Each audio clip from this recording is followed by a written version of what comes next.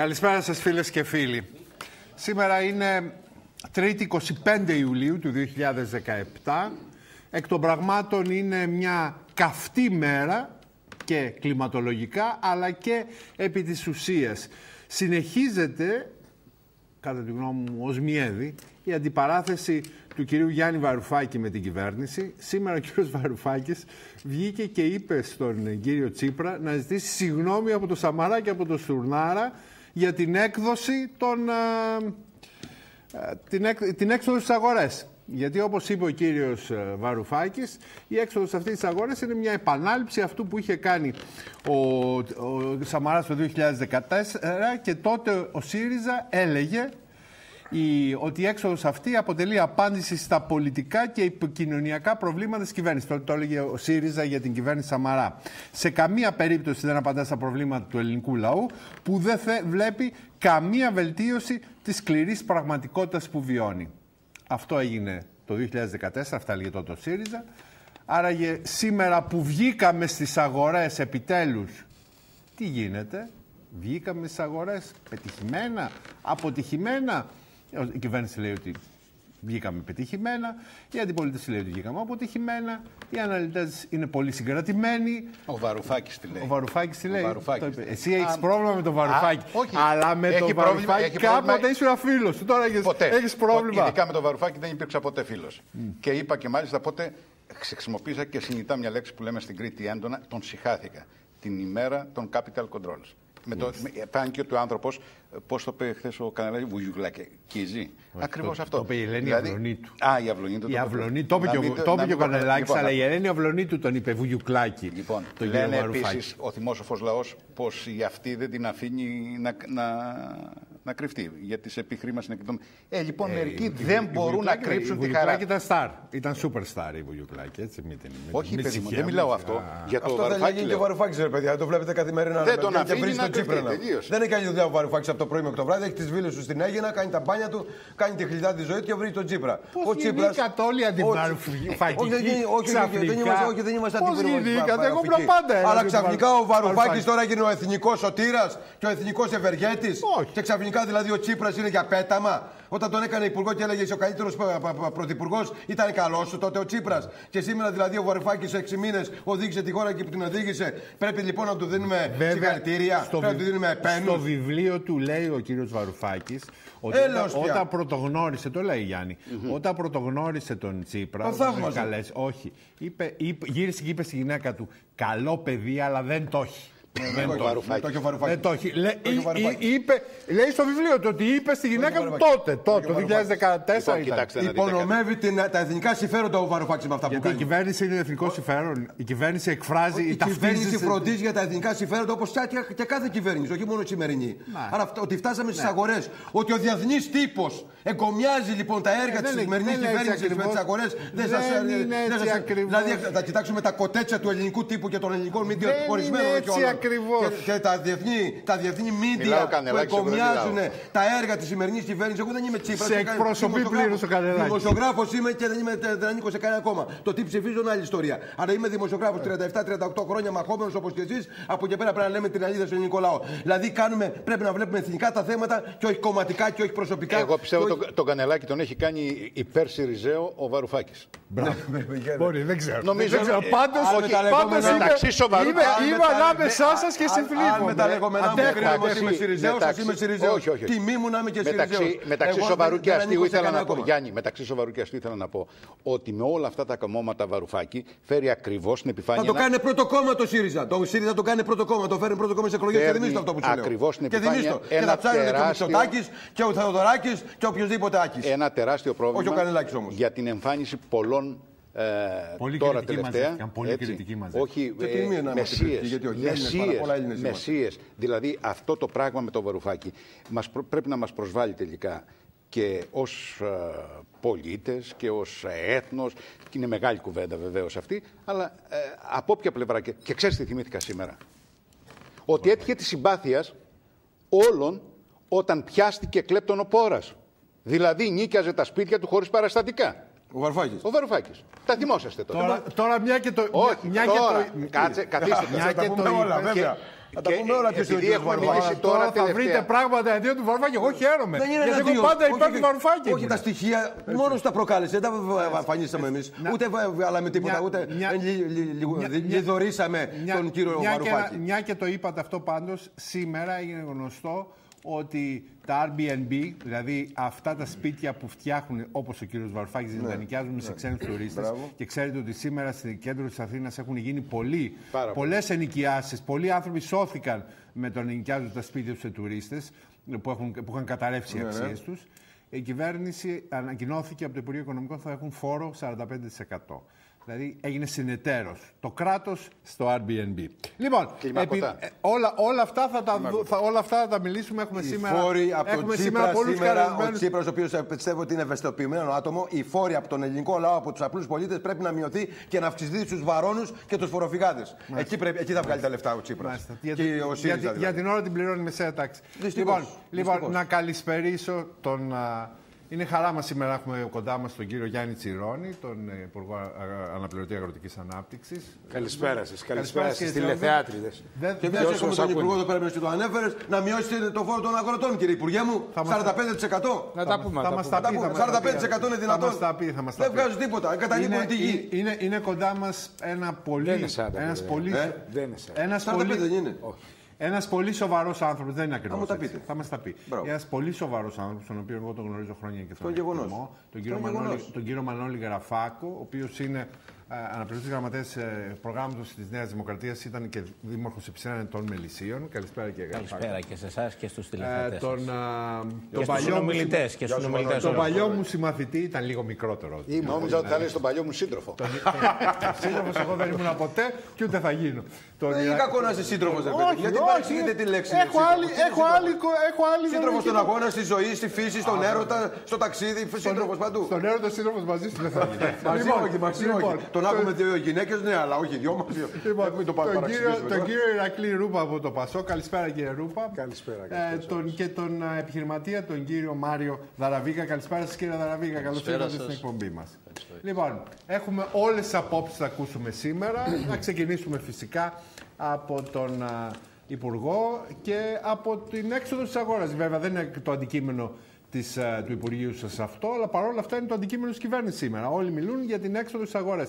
Ήταν πετυχημένη, κύριε Υπουργέ, η έξοδο τη αγορά, ναι ή όχι; Κοιτάξτε, Θα πρέπει να πανηγυρίζουμε; Όχι, δεν είναι θέμα πανηγυριού. Καταρχάς, να ξεκαθαρίσουμε ότι το επιτόκιο πετυχαίνουμε στις αγορές είναι πάντα μια φωτογραφία μιας στιγμής και είναι αυτό που οι αγορέ αποτιμούν στην ελληνική οικονομία.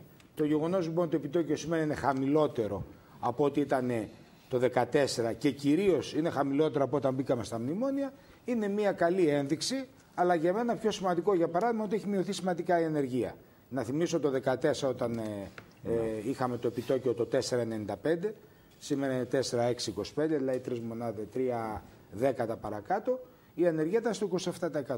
Και νομίζω ότι το καλύτερο, δι- ο δι- καλύτερος δείκτης σήμερα για να ξέρουμε εάν η οικονομία πάει σε σωστή κατεύθυνση, για μένα προσωπικά, πρώτα είναι το ότι πέφτει η ανεργία.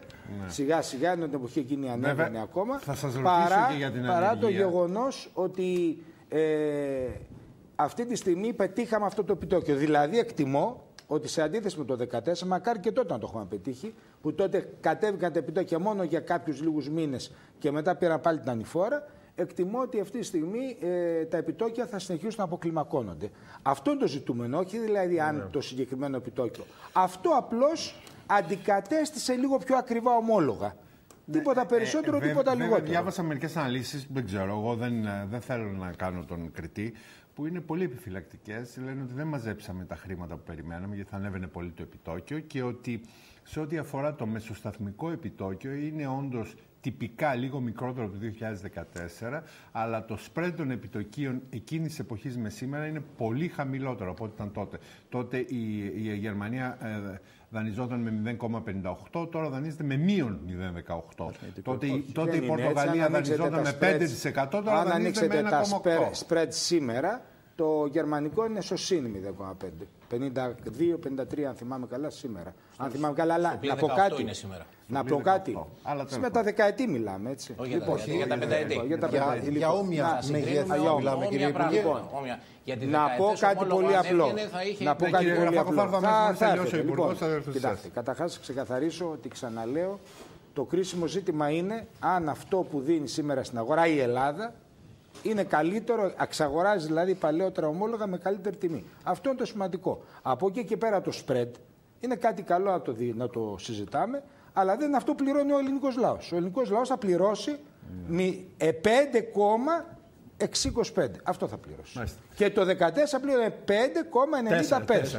4, συγγνώμη, 4,95, 4,625. Αυτή είναι η πραγματικότητα. Αυτό είναι που θα πληρώνουμε από την τσέπη μας. Όλα τα άλλα είναι εκτιμήσεις. Είναι ωραία για να τα συζητάμε. Μάλιστα. Το άλλο όμως το σημαντικότερο αυτή τη στιγμή. Να θυμίσω πάντως ότι τα 8 δισεκατομμύρια, 8,5 πόσο είναι που πήραμε από τον ESM την περασμένη εβδομάδα, είναι με 0,8. Κοιτάξτε, εάν θέλουμε να δικαιολογούμε τα 0,9. μνημόνια, δηλαδή το γιατί μπήκαμε στα μνημόνια και αν υπήρχε άλλη λύση από τα μνημόνια, να σας θυμίσω ότι το 2008 το Ευρωκοινοβούλιο είχε ψηφίσει την έκθεση του πράσινου Ευρωβουλευτή Σβέν Γκίγκολτ που έλεγε ευρωομόλογο. Για μένα τα μνημόνια ήταν η λάθος συνταγή για όλη την Ευρώπη. Είναι μια άλλη μεγάλη ιστορία. Ναι, ναι, αυτή είναι Προφανώς μια- το μνημόνιο έχει χαμηλότερο επιτόκιο.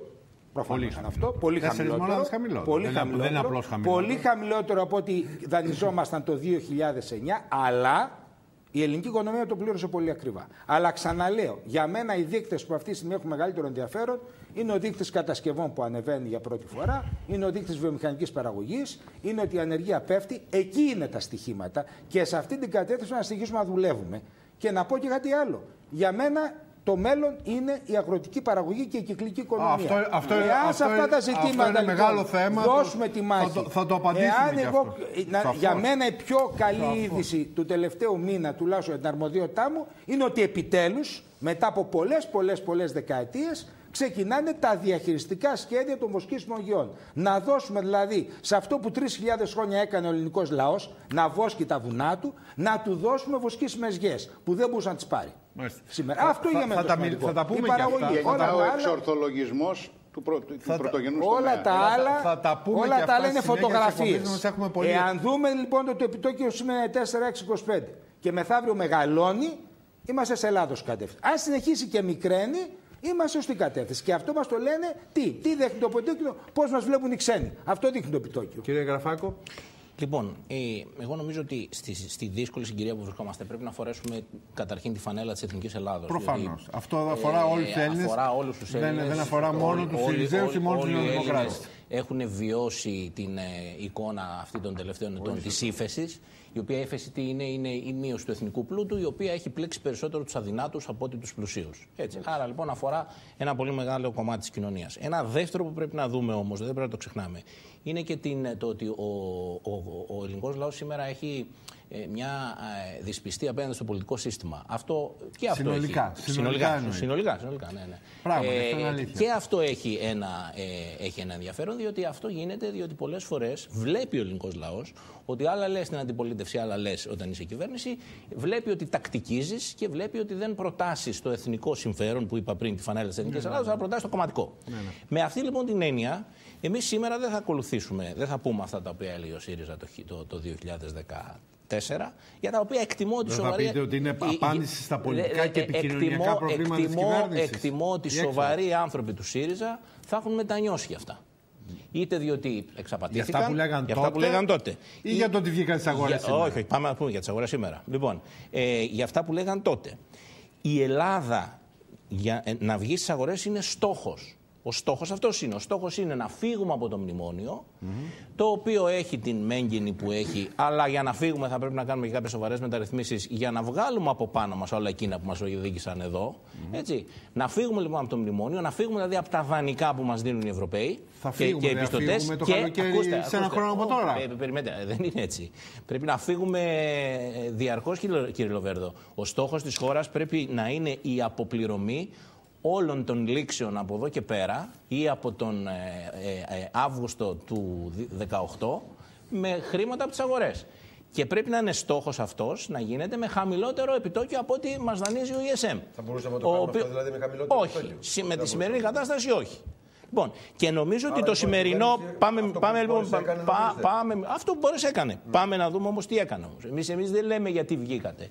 Ε, Α δούμε όμως το αποτέλεσμα. Το αποτέλεσμα σήμερα είναι ότι δανειστήκαμε ε, ναι, μεν με χαμηλότερο επιτόκιο, όπως είπε ο κύριος Τσιρόνης. Αλλά πάμε να δούμε τι κάναμε σήμερα. Σήμερα πήραμε 3 δις, εκ των οποίων το 1,5, απ- το 1,5 αποπληρώσαμε το ομόλογο του 2009. και το μάλιστα, χρηματοδοτήσαμε κύριε μάλλον. Υπουργέ, δώσαμε και premium σε αυτούς. Άρα ε, ε, το επιτόκιο είναι plus. 32, 32 μονάδες βάσης το έχουν. Το έχουν, το έχουν υπολογίσει. Τα έξοδα είναι 1,5 εκατομμύριο. Δεν, δεν τα υπολογίζω καν. Ε, δεύτερον, η υπερκάλυψη ήταν. χάσαμε μια- και μια- κερδίσαμε. Πάμε, πάμε να δούμε αν χάσαμε και κερδίσαμε. ε, Στο τέλος να η- δούμε ποιος θα η- πληρώσει το η- μάρμαρο. η- η- η- και- κύριε, κύριε Υπουργέ, οι διεθνείς αγορές τα τελευταία τρία χρόνια έχουν αποκλιμακώσει τελείως τα επιτόκια. Το γερμανικό ομόλογο, όπως είπε ο κύριος ε, Λοβέρδος, ήταν ε, 0. Ε, 0,18 ήταν- με αρνητικό. ήταν- είναι αρνητικό 0,18 και το 2014 ήταν ε, 60 μονάδες 0,8. βάσης. Ναι, Ε, τα ισπανικά ήταν στο 1,5, σήμερα είναι στο 0,3. Τα πορτογαλικά είναι Τα το πιο πορτογαλικά, προσέξτε, ήταν Βέβαια, στο αυτές οι χώρες μπήκαν 2,6. στο QE, έτσι. Ακούστε να δείτε. Μπή- ε, τα πορτογαλικά μπήκαν στο, ήταν στο 2,6, σήμερα είναι στο 1,1. Λοιπόν, άρα λοιπόν αυτά έχουν αποκλιμα- ε, αποκλιμακωθεί τουλάχιστον ε, μ- μισό και περισσότερο και εμείς ε, πιάσαμε τα ίδια. Ποιοι καλύψαν την έκδοση τώρα; Τα 500 εκατομμύρια τα βάλει το ελληνικό κράτος. Το Ταμείο ε, Διαχείρισης. ελληνικές τράπεζες. Έτσι. Τα, τα άλλα 900 τα βάλουν ελληνικές τράπεζες. Και 1,7 ήταν νέο χρήμα απ' έξω. Το οποίο ουσιαστικά το 1,5 εκατομμύριο, το 1,5 δις αποπλήρωσε το ομόλογο του, της κυβέρνησης Σαμαρά Βενιζέλου και το άλλο 1,5 είναι νέο χρήμα. Αυτό δεν είναι επιτυχημένη έκδοση. Πάει. Τέλος. Δεν μπο- μπορεί ο κύριος Τσιρόνης για τους δικούς του λόγους να το βαφτίζει πετυχημένη. Το καταλαβαίνω, δεν είναι πετυχημένη. Για όποιον καταλαβαίνει στοιχειώδη οικονομικά είναι μια αποτυχία. Και εγώ δεν θέλω να πω ότι είναι μια αποτυχία της κυβέρνησης. Δεν συμμερίζω άποψή σα ο ξένος τύπος. Μόνο εσείς το λέτε αυτό. Ακούστε, ακούστε να δείτε. Θα, θα με εξέπλετε να συμμεριζόσασταν εσείς την άποψή μου. Έτσι. Όχι, λέει ο ξένος ούτε ο ξένος τύπος. τύπος συμμερίζεται. Ε, αφήστε τον ξένο τύπο. Αλλά Και- και- τώρα δεν και- είναι και- καλός Και ο ο ξένος ξένος τύπος, και ο ξένος τύπος, ξέρετε, θέλει να, να αποπληρωθούν τα χρέη του ε, γρήγορα. Παίζουν και αυτοί κάποια έτσι δικά τους παιχνίδια. Μην τα, μην τα βάζετε, μην τα λέτε έτσι όπως τα λέτε. Τα νούμερα είναι αμήλικτα, κύριε Υπουργέ, και δυστυχώς είναι αυτά που σας λέω. Ε, το δέδουνου του θυμίζω ότι η έκθεση βιωσιμότητας του ελληνικού χρέους που έχει ε, την, την, την υπολογίζει και που είναι αρνητική, την, ε, την δουλεύει με επιτόκιο 1,5%. Μα μπορούμε να βγούμε στις αγορές μετά από 2-3 χρόνια να πάρουμε 1,5% επιτόκιο με τη σημερινή κατάσταση που είναι σήμερα; Άρα λοιπόν σήμερα θα αυτό που εξαρτηθεί λέμε όμως- εμείς, θα αυτό, εξαρτηθεί και από πολλές αυτό που άλλες λέμε εμείς παραμέτρους, προφανώς, έτσι. προφανώς. Ε, εάν η χώρα μπει σε μια κανονικότητα, αν συμμαζευτεί, αν μαζέψει τον κρατισμό της, αν μαζέψει την παρέμβαση του κράτους στην κοινωνία και την οικονομία, τότε πράγματι σε κάποιο χρονικό διάστημα, ε, είτε αυτό είναι τα, τα μέσα του 18, είτε στις αρχές του 19, γιατί εγώ μπορώ να ισχυριστώ ότι το ομόλογο αυτού της κυβέρνησης Σαμαρά μπορούσαμε να το είχαμε αποπληρώσει με μια επέκταση του υφιστάμενου μηνυμοτίου με 1%. Ποια είναι επιτυχία, ποια είναι επιτυχία; Αυτή που έγινε σήμερα. Κύριε, κύριε Ρούπα, ε, είπε κάτι που ακούγεται λογικό ο κύριος Τσιρόνης. Είπε δηλαδή, εάν στην επόμενη φορά που θα βγούμε στις αγορές, μπορεί να είναι και τον Οκτώβριο, έτσι, μετά την ολοκλήρωση της τρίτης αξιολόγησης, εάν γίνει ομαλά η ολοκλήρωση της τρίτης αξιολόγησης και μην πάρει και αυτή μήνες όπως οι προηγούμενοι, ε, θα μπορέσουμε να πούμε α, ότι πήγαμε καλύτερα να πάρουμε, πιάσουμε μικρότερο επιτόκιο. Δεν είναι λογικό αυτό που λέει; Εξαιρετικά λογικό, αρκεί να βάλουμε μια βάση. Να πω μια τεχνική λεπτομέρεια για να μην κουράζουμε και τους τηλεθεατές. Δεν μπήκατε στις αγορές με καλύτερο επιτόκιο. Η χρέωση στο φορολογούμενο δημιουργεί βάση η οποία ήταν ίδια με το προηγούμενο. Τι εννοεί; Δεν μπήκατε at par, δεν, εξε, δεν έκανε εξαγορά στο 100%. Έκανε στο 102, κόμμα κάτι. Ξέρετε τι σημαίνει αυτό; Ε, premium, Ότι ο αυτό Έλληνας το φορολογούμενος στην ουσία επιβαρύνθηκε με 140 εκατομμύρια. Μοιρασμένο στις τράπεζες και στους υπόλοιπους επενδυτές. Αυτό το παρακάμπτουμε και το παραβλέπετε. Προσέξτε. τώρα τι δεν, μου λέτε; κύριε Τσιρόν, μην με διακόπτετε, σας άκουσα πάρα πολύ καλά. Δεν έχω την απέτηση να γνωρίζετε το πώς λειτουργούν οι αγορές, ούτε έχω την απέτηση να γνωρίζετε τα τεχνικά χαρακτηριστικά. Απλά σας παραθέτω μία λεπτομέρεια που τυχαίνει να τη γνωρίζουμε γιατί είναι το αντικειμένο μας. Άρα λοιπόν, όταν μιλάμε, να μιλάμε επί της ουσίας. Και άρα, τι υφίσταται ο φορολογούμενος. Ο κ. Βοβέρο είπε κάτι επισημένοντας αυτό που είπατε εσείς. Ναι, ε, αυτό είναι αλήθεια. Μην ξεχνάμε όμως ότι ξεκινάει η τρίτη αξιολόγηση. Μην ξεχνάμε ότι το χρέος εξακολουθεί να είναι εξαιρετικά μη βιώσιμο. Μην ξεχνάμε ότι το πρωτογενές έτσι λέει το πλεόνασμα. Δουνουτού, έτσι. Έτσι Ε, λέει το Δουνουτού. Νομίζω ότι είναι οι και το Γερμανοί, αφήγημα- οι Γερμανοί έχουν μια διαφορετική Οι, άποψη. οι Γερμανοί έχουν τη δική τους άποψη, έχουν εκλογές τον Οκτώβριο και άλλα είναι δεδομένο ότι ακολουθούν αυτή την άποψη. Το θέμα είναι τι άποψη έχουν οι Ε, αγορές. κύριε Γραφάκο, ένα λεπτό να ολοκληρώσω. Συγγνώμη. Ε, με δεδομένο λοιπόν αυτό, έχουμε πρωτογενές πλεόνασμα το οποίο από όλες τις ενδείξεις δεν πρόκειται να φτάσει στο 3,5% και η ανάπτυξη δεν πρόκειται να είναι 2,5%. Ξέρετε τι σημαίνει αυτό; Σημαίνει αυτομάτως 3,5 τρύπες. το 2018, όχι φέτος. Φέτος είναι 75. Σωστό. Ναι. Α, ε, και, και ε, συγκεκριμένα χαρακτηριστικά τα οποία δομούν και δημιουργούν συνθήκες χάσματος. Το χάσμα αυτό, όταν ξεκινάμε, ο κ. Ζωβερό είπε κάτι μακάρι να τελειώσει και η Βλέπετε επόμενη χάσμα αξιολόγηση.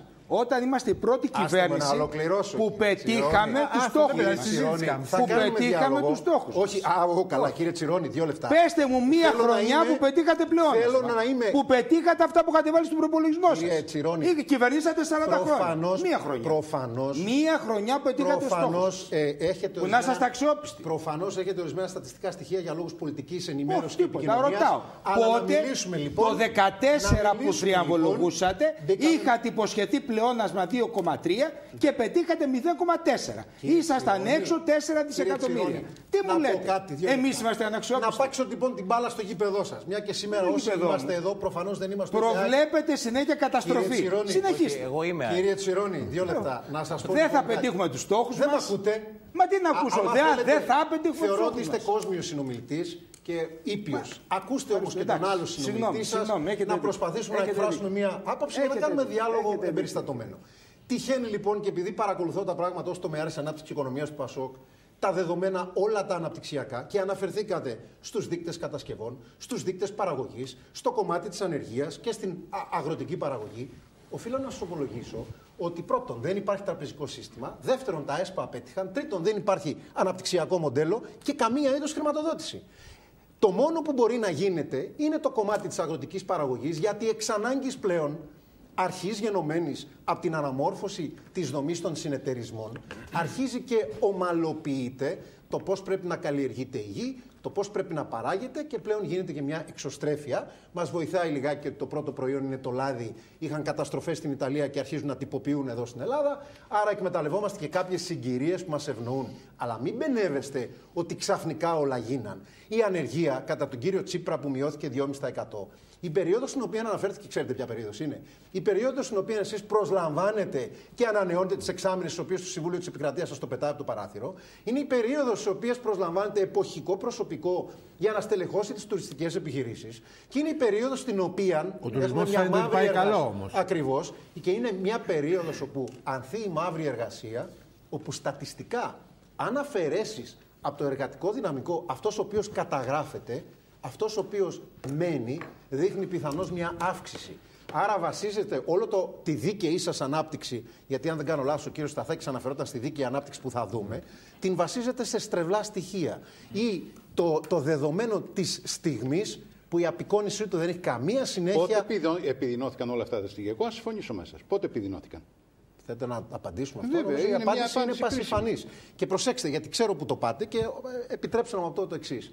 Να μην απολογηθούμε για το τι έγινε πριν από 40 χρόνια, κύριε Τσιρόνη, αν θέλουμε να σηκώσουμε τη σημαία την ελληνική για να δούμε τα δεδομένα σήμερα. Εσείς να τώρα αναγνωρίσουμε σηκώνετε λοιπόν. την ελληνική με αυτά που μου λέτε. Μα κύριε Τσιρόνη, όταν εσείς μου λέτε τι λέει ο διεθνής τύπος και τον διεθνή τύπο τον έχω διαβάσει, δεν ξέρω πόσα άρθρα Εσείς διάβασα σήμερα, αν σας άκουγε από ξένος επενδυτής, Ναι. σηκώσατε εθνική σημαία. Μα τώρα σοβαρά μιλάτε.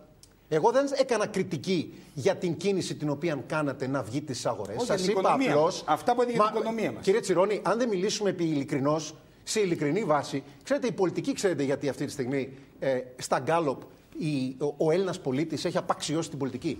Γιατί όλα αυτά τα χρόνια δεν είμαστε ειλικρινείς μαζί του. Αν καθίσουμε λοιπόν να Εσείς. δεχθούμε. Συγγνώμη, Όχι εγώ. εσείς καθόλου. Τις αγορές τις χορεύατε ζεμπεκές. Ο κύριος Τσίπρας είπε θα τρώει popcorn όταν βγούμε στις αγορές για να λαϊκίσω και εγώ λιγάκι. Διαβάστε το Κύριε blog Τσιρόνη, μου. Όταν μιλάτε μου μιλάτε, προσωπικά γιατί ναι, νομίζω ότι φυσικά. εκπροσωπείτε την Ναι, κυβέρνηση. να σας κοιτάω, με κοιτάτε. Μα δύο λεφτά. Προσωπικά να το δεχθώ, αλλά εκπροσωπείτε την κυβέρνηση. Να εδώ. ξεκαθαρίσουμε. Δεν νομίζω ότι είστε ως Μη μου άτομο ο λέτε, κύριος λοιπόν, Τσιρόνης. Όταν για Είστε ο παράδειγμα. μέλος της όχι, κυβέρνησης, Μη κύριε μου κάνετε όμω Τσιρόνη. φτηνό συνδικαλισμό. Εγώ Είπατε δεν για είμαι παράδειγμα συνδικαλιστής. προηγουμένως. Άνθρωπος Είπατε αγοράς για είμαι. παράδειγμα προηγουμένως Έτσι. ότι η ανεργία μειώνεται μόνο αυτό το τρίμηνο που έχουμε προσλήψεις. Εγώ να σας πάρω Στατιστικά όλα σας τα λέω. τρίμηνα, Στατιστικά όλα σας τα λέω. τρίμηνα της διετίας. Ετησιοποιημένα. Μάρτι 14 με Μάρτι 15, Μάρτι 16, Μάρτι 17. Ταυτόχρονα, Τρίμηνο. δεν σας όλα. διακόπτω, έχετε δίκιο. Ταυτόχρονα Να τα θα λέμε μου έτσι τα βάλετε, πράγματα. σωστό, θα μου Α. βάλετε και στατιστικό στοιχείο τα τρίμηνα αυτά. Πόσοι, Τρίμηνα, α- εξάμηνα, τι δωδεκάμηνα, ποσοστό όλα. του Ποιο εργατικού θέλετε να δυναμικού έφυγε από τη χώρα για να διευκολύνει το στατιστικό σας δεδομένο. Όχι, θα δεν μου, μιλάω για όχι, ποσοστά. Θα μου τα Δεν παραλληλήσετε μιλάω λοιπόν. ποσοστά, Ποσοστά νέες μιλάτε. εργασίες, καθαρές νέες θέσεις εργασίας απόλυτες. Τις απώλειες της θέση των θέσεων εργασίων θα τις Τις καθαρές αντισταθμίσετε. νέες Θα θέσεις βάλετε απόλυτο δίπλα και νούμερο. τι απώλειες. Γιατί η απώλεια είναι όταν φεύγει Όταν και το λέμε- εργατικό δυναμικό όταν λέμε εκτός χώρας, καθαρές κύριε νέες Τσιρόνη, θέσεις με εργασίας, οικονομικά στοιχεία. Έτσι, όταν θεωρητικοί λέμε είμαστε. καθαρές νέες θέσεις εργασίας και δεν μιλάω για ποσοστά, μιλάμε νέες θέσεις που δημιουργήθηκαν μείον αυτές που Μιλάτε χάθηκαν. το ισοζύγιο. Και εσείς βγάζετε ισοζύγιο 250.000 όπως είπε. Να- να- να το Θετικό. δούμε- να το δούμε Άλλο στη συνέχεια. ισοζύγιο Εγώ μιλάτε. ήθελα να ρωτήσω τον κύριο Δαραβίγκα, ο οποίος είναι ένας άνθρωπος της αγοράς, δεν έχει, δεν έχει πολιτική ε, κομματική ε, θέση. Ήθελα να σας ρωτήσω, όλος αυτός ο θόρυβος που γίνεται σήμερα, με την έξοδο στις αγορές, ακούσαμε και τα καλά και τα κακά. Ε, με όλη αυτή τη φασαρία που γίνεται αφορά την, ε, την αγορά, την ελληνική αφορά, τις ελληνικές επιχειρήσεις, διότι σε λίγες μέρες από τώρα, σήμερα είναι 25 Ιουλίου, σε έξι μέρες από τώρα, την προσεχή Δευτέρα, θα κληθούν όλοι οι Έλληνες φορολογούμενοι να πληρώσουν την πρώτη δόση του φόρου εισοδήματος, που για κάποιους είναι ιδιαίτερα αυξημένη σε σχέση με πέρσι. Το πρόβλημα είναι μεγάλο. Δεν το έχουμε αντιμετωπίσει. Δυστυχώς έχει παραβλέψει την οικονομία και τούτη κυβέρνηση και οι προηγούμενες κυβερνήσεις. Εγώ είμαι ειλικρινής, δεν είμαι υποψήφιος, ούτε επιθυμώ να είμαι υποψήφιος με κανένα κόμμα. Η πολιτική θα έπρεπε να είναι τελείως διαφορετική. Θα έπρεπε να δοθεί μια σοβαρότατη αντιμετώπιση στα προβλήματα του, των επιχειρηματιών από παλαιότερα. Είχε βγάλει μια εργαλειοθήκη ο ΩΣΑ και επί της προηγούμενης κυβερνήσεως και επί της τωρινής δεύτερη φορά. Πληρώθηκε δύο Ναι, φορές. απο- απομένει να εφαρμοστεί κιόλας και επι- και περιμένουμε να εφαρμοστεί Πόσο κιόλας. εφαρμόστηκε αυτή η εργαλειοθήκη; Κανένας δεν εφαρμόζει. Γιατί; Διότι και οι προηγούμενοι και οι επόμενοι έχουν πελατειακό κράτος το οποίο οφείλουν να συντηρήσουν συντεχνιακό, αν θέλετε. Οφείλω να ομολογήσω ότι η Νέα Δημοκρατία το παραδέχτηκε και λέει ναι, κάναμε λάθη. Οφείλει να το παραδεχτεί Και ο κύριος Τσίπρας το και ο είπε χθες. Τσίπρας. Δεν ξέρω. Είπε ότι έκανε οφείλει, μεγάλα να- λάθη, το Οφείλει είπε. να το παραδεχτεί Και και, ότι να το δεν ήταν- εφαρμόσει. Εάν δεν γίνουν επενδύσεις, πώς θα γίνουν επενδύσεις, όταν δεν υπάρχει σταθερό φορολογικό σύστημα. Κάθε μέρα αλλάζει φόροι, ανεβαίνουν ηλικιωδώ. Το Ηλικιωδώ. ότι- το ότι βγήκαμε στις αγορές δεν παίζει ρόλο, δεν έχει σχέση Ποιο; η έξοδος Αυτά στις ήταν αγορές. και τα προηγούμενα και και τα τωρινά είναι στημένα. Κοροϊδεύουμε ποιον; Κοροϊδεύουμε τον ελληνικό λαό. Συνεχίζουμε να κοροϊδεύουμε. Ε, ε, κάποια στιγμή να σοβαρευτούμε. Να πούμε ρε παιδιά, ναι, κάναμε ένα βήμα πραγματικά ε, αξιόλογο. Εγώ δεν θα το. δεν- ε, Είναι εθνική πολιτική, όπως είπε και ο κύριος. Ραφάκος. Εγώ δεν αντιλέγω. Συμφωνώ, έτσι έπρεπε να γίνει. Αλλά από εκεί και πέρα, ας προσπαθήσουμε να είναι πραγματικά. Γιατί αν βγαίναμε, θα βγαίναμε όπως η Πορτογαλία με 1,3 έλεγα. Εγώ 1,1 είναι σήμερα. Πάντως το θεωρείτε θετικό το ότι πήγαμε στις αγορές για την ελληνική αγορά. την ελληνική Θετικό είναι οικονομία, πάντοτε, το ελληνικό- ασφαλώς. Ασφαλώς. Όμως, άμα τα πάρουν οι τράπεζες, δηλαδή είναι στημένο εγώ και εσείς θα βγούμε αύριο, εντάξει, θα τα μοιραστούμε μεταξύ μας, είμαστε εντάξει. Δεν λέει κάτι, κύριε. Θέλουμε να έχει συνέχεια αυτό. Ακριβώς. έχει βάθος. Οικονομία. Τίποτα δεν είναι καλό. σήμερα Θα μόνο. Δεν είναι συνεχίσουμε. εντύπωση. Δεν είναι, δεν είναι πομφόλιγα που σκάει και εμφανίζεται κάτι ξαφνικά και μετά εξαφανίζεται. Πρέπει να έχει συνέχεια. Η Δηλαδή είναι μια επιχειρηματικότητα. φούσκα πιστεύετε αυτό το πράγμα. Δεν έχει βάση, Μέχρι δεν έχει στιγμής, όραμα, δεν έχει κα- μέλλον. Αυτή τη στιγμή δεν έχει κανένα μέλλον. Ήταν εντυπωσιασμός. Είναι για την κοινή γνώμη. Το ίδιο έκανε, Δηλαδή ο επαναλαμβάνω. διεθνής την τύπος μιλάει για ένα προηγούμενη κυβέρνηση. εντυπωσιασμό. Ε, ναι, έπρεπε κάποια στιγμή να το κάνουν. Έτσι έπρεπε. Αφού Συλλήφθη ο διεθνής τύπος. ο διεθνής τύπος είπε ότι δεν έπρεπε να γίνει Κύριε ή Κα- έπρεπε Κάποιοι- να γίνει κάποιοι με έτσι, μεγάλη κάποιοι αλλιώς. επιφύλαξη. Διαβάζετε λάθος τον διεθνή τύπο. Δεν τον έχετε διαβάσει. σωστά. Όπως το γράφουμε Έτσι το ακριβώς. διαβάζουμε. Και, και εδώ υπάρχει και μια άλλη Δεν το παράμετρο. διαβάζετε. Να Δεν το το διαβάζετε. διαβάσετε ισορροπημένο. Για να διαβάσουμε Διαβα- όχι, δηλαδή είναι διαβάστε λάθος. την Allgemeine Zeitung ε, τη γερμανικές Φραν- που εφημερίδες σήμερα το πρωί εκδιάζουν αυτό το διέγραφε. πράγμα. Ε, μα τι λέτε εδώ τώρα. Το υπάρχει- βλέπουμε εθνικά όπως είπατε και χαίρομαι που το Εθνικά είπατε. είναι, εσείς στο- ασφαλώς. εδώ Έτσι υπάρχει πρέπει να και είναι. μια Εδώ παράμετρο. εθνικά εθνικά τα θέματα. Διότι αν δεν τα βλέπουμε εθνικά και τα βλέπουμε κομματικά δεν κάνουμε Κύριε τίποτα. Κανελάκη, Εδώ μου, υπάρχει μια Το παράμετρο. θέμα είναι να έχει υπάρχει συνέχεια μια και η παρά- φορολογία να έχει Με συνέχεια συγχωρεί- και η δικαιοσύνη Με και οι πάντες συγχωρείτε να κύριε έχουν συνέχεια Δαραβίγα, εδώ υπάρχει πέρα. μια παράμετρος που την είπε χθες ο Γιάννης Στρατάκης. Ότι αυτή περισσότερο που ήθελε να βγει σήμερα στις αγορές η η Ελλάδα ήταν οι Γερμανοί. Και μάλιστα η κυβέρνηση της Γερμανίας, επειδή έχει μπροστά τις γερμανικές εκλογές, για να πει στους Γερμανούς Έτσι, για αφήγημα. ψηφοφόρους Πολύ σωστά. ότι να πάει καλά η ελληνική οικονομία, δεν θα, δεν θα επιβαρυνθείτε δεν κι θα άλλο. τους δώσουμε Θα άλλα βγουν λεφτά. στις Να σας αγορές, πω δεν θα κάτι- δώσουμε άλλα Να λεφτά. σας πω κάτι όμω που δεν το έχουμε δώσει Και τη όμως δέουσα θα θέλουν σημασία. λύσουν να δώσουν κι Και άλλα θα λεφτά γιατί προκύψει τον οικονομάνε από Οκτώβριο. τα δανεικά που παίρνουν. Μισό τώρα. λεπτό Μην λέμε κύριε ότι παίρνουν. Κανελάκη να σας πω Παρακαλώ. κάτι γιατί τον Οκτώβριο θα προκύψει μπροστά μας. Στις εκλογές τι γερμανικές κερδίζει η Μέρκελ με 40 κάτι Πιθανό Έτσι. Πιθανόν. Πιθανώς να βγει λοιπόν. Έτσι φαίνεται. Ποιος είναι ο συνεταίρος που θα βγει μαζί, το... οι φιλελεύθεροι. Γιατί έχουν 8,5%. Ναι, ναι. Ξέρετε τι λέει ο αρχηγός των φιλελευθέρων; Ναι, ναι, πολύ η Ελλάδα, είναι πολύ σκληρός. Η Ελλάδα έπρεπε να έχει βγει από το ευρώ προσωρινά για να μπορέσει να απομειώσει το χρέος. Να κόψει, να περικόψει χρέος. Φανταστείτε ένα Σόιμπλε τριπλός είναι αυτός. Το Eurogroup δεν το κυβερνάει ένα Σόιμπλε μια Γερμανίδα. Υπάρχουν 17 μέλη. Σοβαρολογείτε. Λοιπόν, 99% 100 κάνει ναι, κουμάντα αυτό. Αυτός είναι το λάθος. Τι σημαίνει αυτό. Δηλαδή. Τι σημαίνει αυτό. Δηλαδή είναι και δαιμόνε όλων οι Γερμανοί. Θα προσκυνήσουν όλοι τους Γερμανού. Λοιπόν. Δεν κατάλαβα. Επειδή έχει μαζέψει τα λεφτά όλα μέσα από τα δανεικά και από τα τόπους. Συγγνώμη, να πάρω τη θέση του Βορουφάκη. Α φύγουμε λοιπόν. Πού να φύγουμε; Αυτό ακριβώς. Πού να πάμε; Έλα, Δεν είπα να Στις φύγουμε. αγορές, στις αγορές, φύγουμε. αδερφές μου. Πρέπει να αγορές δούμε στην του Ελλάδα, Παπαγλύβους. έστω και οι θετικές εντυπώσεις που υπάρχουν για τη χώρα μας στο εξωτερικό είναι θετικό. Να και για δούμε- τις αγορές να δούμε και για και τα για συμφέροντα κανένα- και δεν για έχω την προοπτική αντίρρηση εγώ. και για επενδύσεις και για πολλά άλλα πράγματα Να και για δούμε, ανάπτυξη. λοιπόν, τη Μην τα σκοπιμότητα. βλέπουμε όλα μίζερα σε αυτό το Όχι, τόπο. δεν τα βλέπουμε Μην τα καθόλου βλέπουμε όλα μίζερα. εγώ και εσείς. Να Μην τα δούμε, βλέπουμε λοιπόν, μίζερα να και κομματικά είναι λάθος. Εγώ Να για δούμε δεν είναι μίλησα ότι ο ΣΥΡΙΖΑ κομματικά. και η Νέα Δημοκρατία ή το ΠΑΣΟΚ και οτιδήποτε τα ίδια θα έλεγα. Τα βλέπουμε εθνικά τα θέματα. Να όχι δούμε κομματικά. λίγο και τη σκοπιμότητα αυτής της κίνησης. Έτσι. Ε, και να πάρουμε υπόψη μας το διεθνή παράγοντα. Και ε, διεθνής παράγοντας δεν είναι κάτι το ενιαίο και το αδιέρετο. Υπάρχουν συμφέροντα και συμφέροντα. Βεβαίως. Σαφώς και η Ούτε καν Γερμανία. μέσα στην ίδια χώρα Ακριβώς, δεν είναι ακριβώς, τα ίδια τα ακριβώς. συμφέροντα, έτσι. Η Γερμανία. Άλλη άποψη έχει ο Σούλτς και άλλη άποψη έχει Ακριβώς. ο Και Σόιμπλε. άλλη άποψη έχει και ο Τσίπρος στο Όταν- κάτω κάτω. όταν Δεν λέμε, κατάλαβα λοιπόν, δηλαδή. Ο όταν Τσίπρας λέ- τι είναι; όταν λέμε Ο- στο- Ο εκάστοτε ηγέτης της Ελλάδας. ο- Όταν κυβερνήτης λέμε εννοώ. λοιπόν Γερμανία. Λες βγάζουμε Τσίπρας το- και στάζει το στόμα σου μέλη. Τι Τι έχεις θέλεις να πάθει; φτάσει ρε μεγάλο δηλητήριο επειδή μιλάμε, δεν μιλάω για τη Νέα Δημοκρατία. Δεν κατάλαβα δηλαδή. Λοιπόν, δεν επί- κατάλαβα. όταν λέμε για Γερμανία σήμερα εννοούμε την πολιτική που ασκεί η εκλεγμένη Μέλλη, κυβέρνηση δεν της μακάρι να Γερμανίας. κάνουμε Μέλλη, ναι. Δηλαδή Μέρκελ και Σόιμπλε. Όχι απλά ήθελα να βγει η Ελλάδα στην ε, αγορά, αλλά έχω την αίσθηση, τουλάχιστον αυτό προκύπτει και από ρεπορτάζ, ότι η ελληνική κυβέρνηση δεν ήταν απολύτως πεπισμένη ότι έπρεπε τώρα να βγει. Και εγώ έχω αυτή την εντύπωση. Έτσι. Σωστό. Και εγώ έχω αυτή την αλλά εντύπωση, δεν μπορώ να το πιστοποιήσω. και οφείλω να Όλοι οι πω... προφήτες έχετε γίνει. και- Το ότι τσάντα ναι, έπρεπε να κάνει ρεπορτάζ, η κυβέρνηση, ρα- έπρεπε να τα Ρε κάνει Γιάννη, αργότερα. Ρε Γιάννη, περίμενε. Μα δεν- Άσο να- Λοιπόν, το ρεπορτάζ μου έλεγε ότι θα ήταν ένα από τα αντικείμενα συζήτησης στην Κεντρική Επιτροπή το προηγούμενο Σαββατοκύριακο, Παρασκευό λόγω του Σάββατο, σεισμού που στην ανεβλήθη λόγω του σεισμού. Λοιπόν, ένα από τα θέματα λοιπόν που θα ετίθετο ήταν ακριβώς αυτό.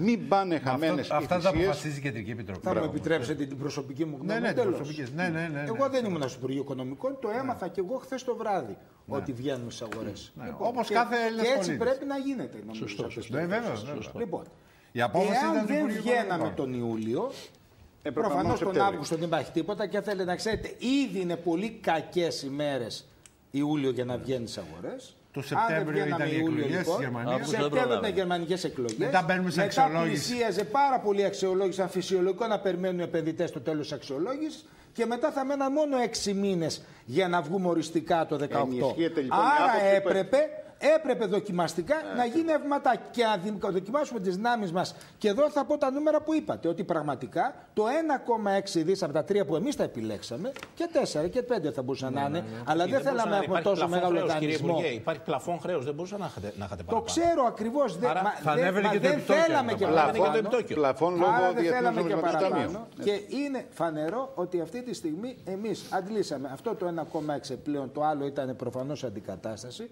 όπως πολύ σωστά τα είπανε, και το οποίο το αντλήσαμε με λίγο μικρότερο επιτόκιο. Είναι ένα βήμα. Ξαναλέω, εγώ προσωπικά το θεωρώ αυτό το βήμα ότι δεν έγινε ούτε κάτι τεράστιο. Δεν πανηγυρίζετε. Αυτό προσπαθούμε Ω να Γιάννη κάνουμε. Τσιρόνη δεν πανηγυρίζετε. Ω Γιατί να κυβέρνηση. πανηγυρίσω. Όχι, απλά Δεν θα λένε ότι είναι πανηγυρίσω. θετικό. Δεν το Είχα πανηγυρίζω. ένα, Να συμπληρώσω και είχα κάτι. ένα φόβο χθες επειδή είναι κακή η περίοδος η θερινή. Είχα ένα φόβο ότι μπορεί να είναι στο 4,8. Καλά, τώρα διαμορφώθηκε Πήγαινε μια κάτι- συγκυρία για Να αυτό το πάμε πράγμα. σε διαφημιστικά μηνύματα για να τα πούμε. Το, το 4,8, εγώ το πρωί που με ρώτησαν πώς το εκτιμάτε, λέω 4,8 ναι, είναι καλά, Είναι καλό λίγο γιατί είναι κάτω από το 4 και 95. Γιατί είναι κάτι ακριβώς. Ναι, ναι, οι δυο λεπτά. Κύριε Τσιρόνη, Θα τα πούμε αμέσως μετά τα διαφημιστικά τι μηνύματα εννοώ, γιατί με έτσι. πιέζει. Αντιλαμβάνεστε τι. Ένα ιδιώτη. Μετά τις Λοιπόν, οκτώ φίλε η και ώρα φίλοι, επιστρέφουμε εδώ στο στούντιο του, του Blue Sky. Ε, κατά τη διάρκεια του διαλύματος είπαμε αρκετά πράγματα, αλλά επειδή είναι χρήσιμο να τα λέτε και να τα ακούτε και εσείς, ε, ήθελα να ο κύριος ε, Τσιρόνης, ο Υπουργός Αναπληρωτής Αγροτικής Ανάπτυξης που είναι σήμερα μαζί μας, ε, και ο οποίος είπε, παραλαμβάνω κύριε, κύριε Ρούπα, επειδή στην πρωτού όταν, ήταν, όταν μιλούσε ο, ο υπουργός, είχατε μια Ήθελα να, πω ένσταση στον, να πείτε, πείτε θα την. ήθελα να πω στον Υπουργό το εξής. Επειδή μιλάμε ειλικρινώς και μιλάμε για πολιτική και ούτω καθεξής. Εγώ θα συμφωνήσω μαζί σας ότι όλα τα μοντέλα τα αναπτυξιακά ήταν στρεβλά όλα αυτά τα χρόνια. Να το δεχθούμε αυτό. Α ξεκινήσουμε από εδώ και πέρα όμως. Με δεδομένο λοιπόν επί της ουσίας η κυβέρνηση, ας πούμε ότι έχει καλές προθέσεις. Αλλά είναι με δεμένα τα χέρια εξαιτίας των δικών της πολιτικών επιλογών στην ουσία να δέσει τα χέρια της.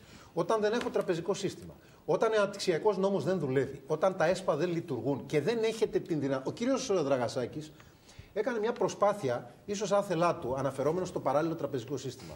Ξέρετε ότι αυτή τη στιγμή θα μπορούσαμε να αναμορφώσουμε και να δομήσουμε διαφορετικές δομές χρηματοδότησης υπομορφή παράλληλου τραπεζικού συστήματος για να υποστηρίξουν την αναπτυξιακή δυναμική της υπαίθρου και της χώρας.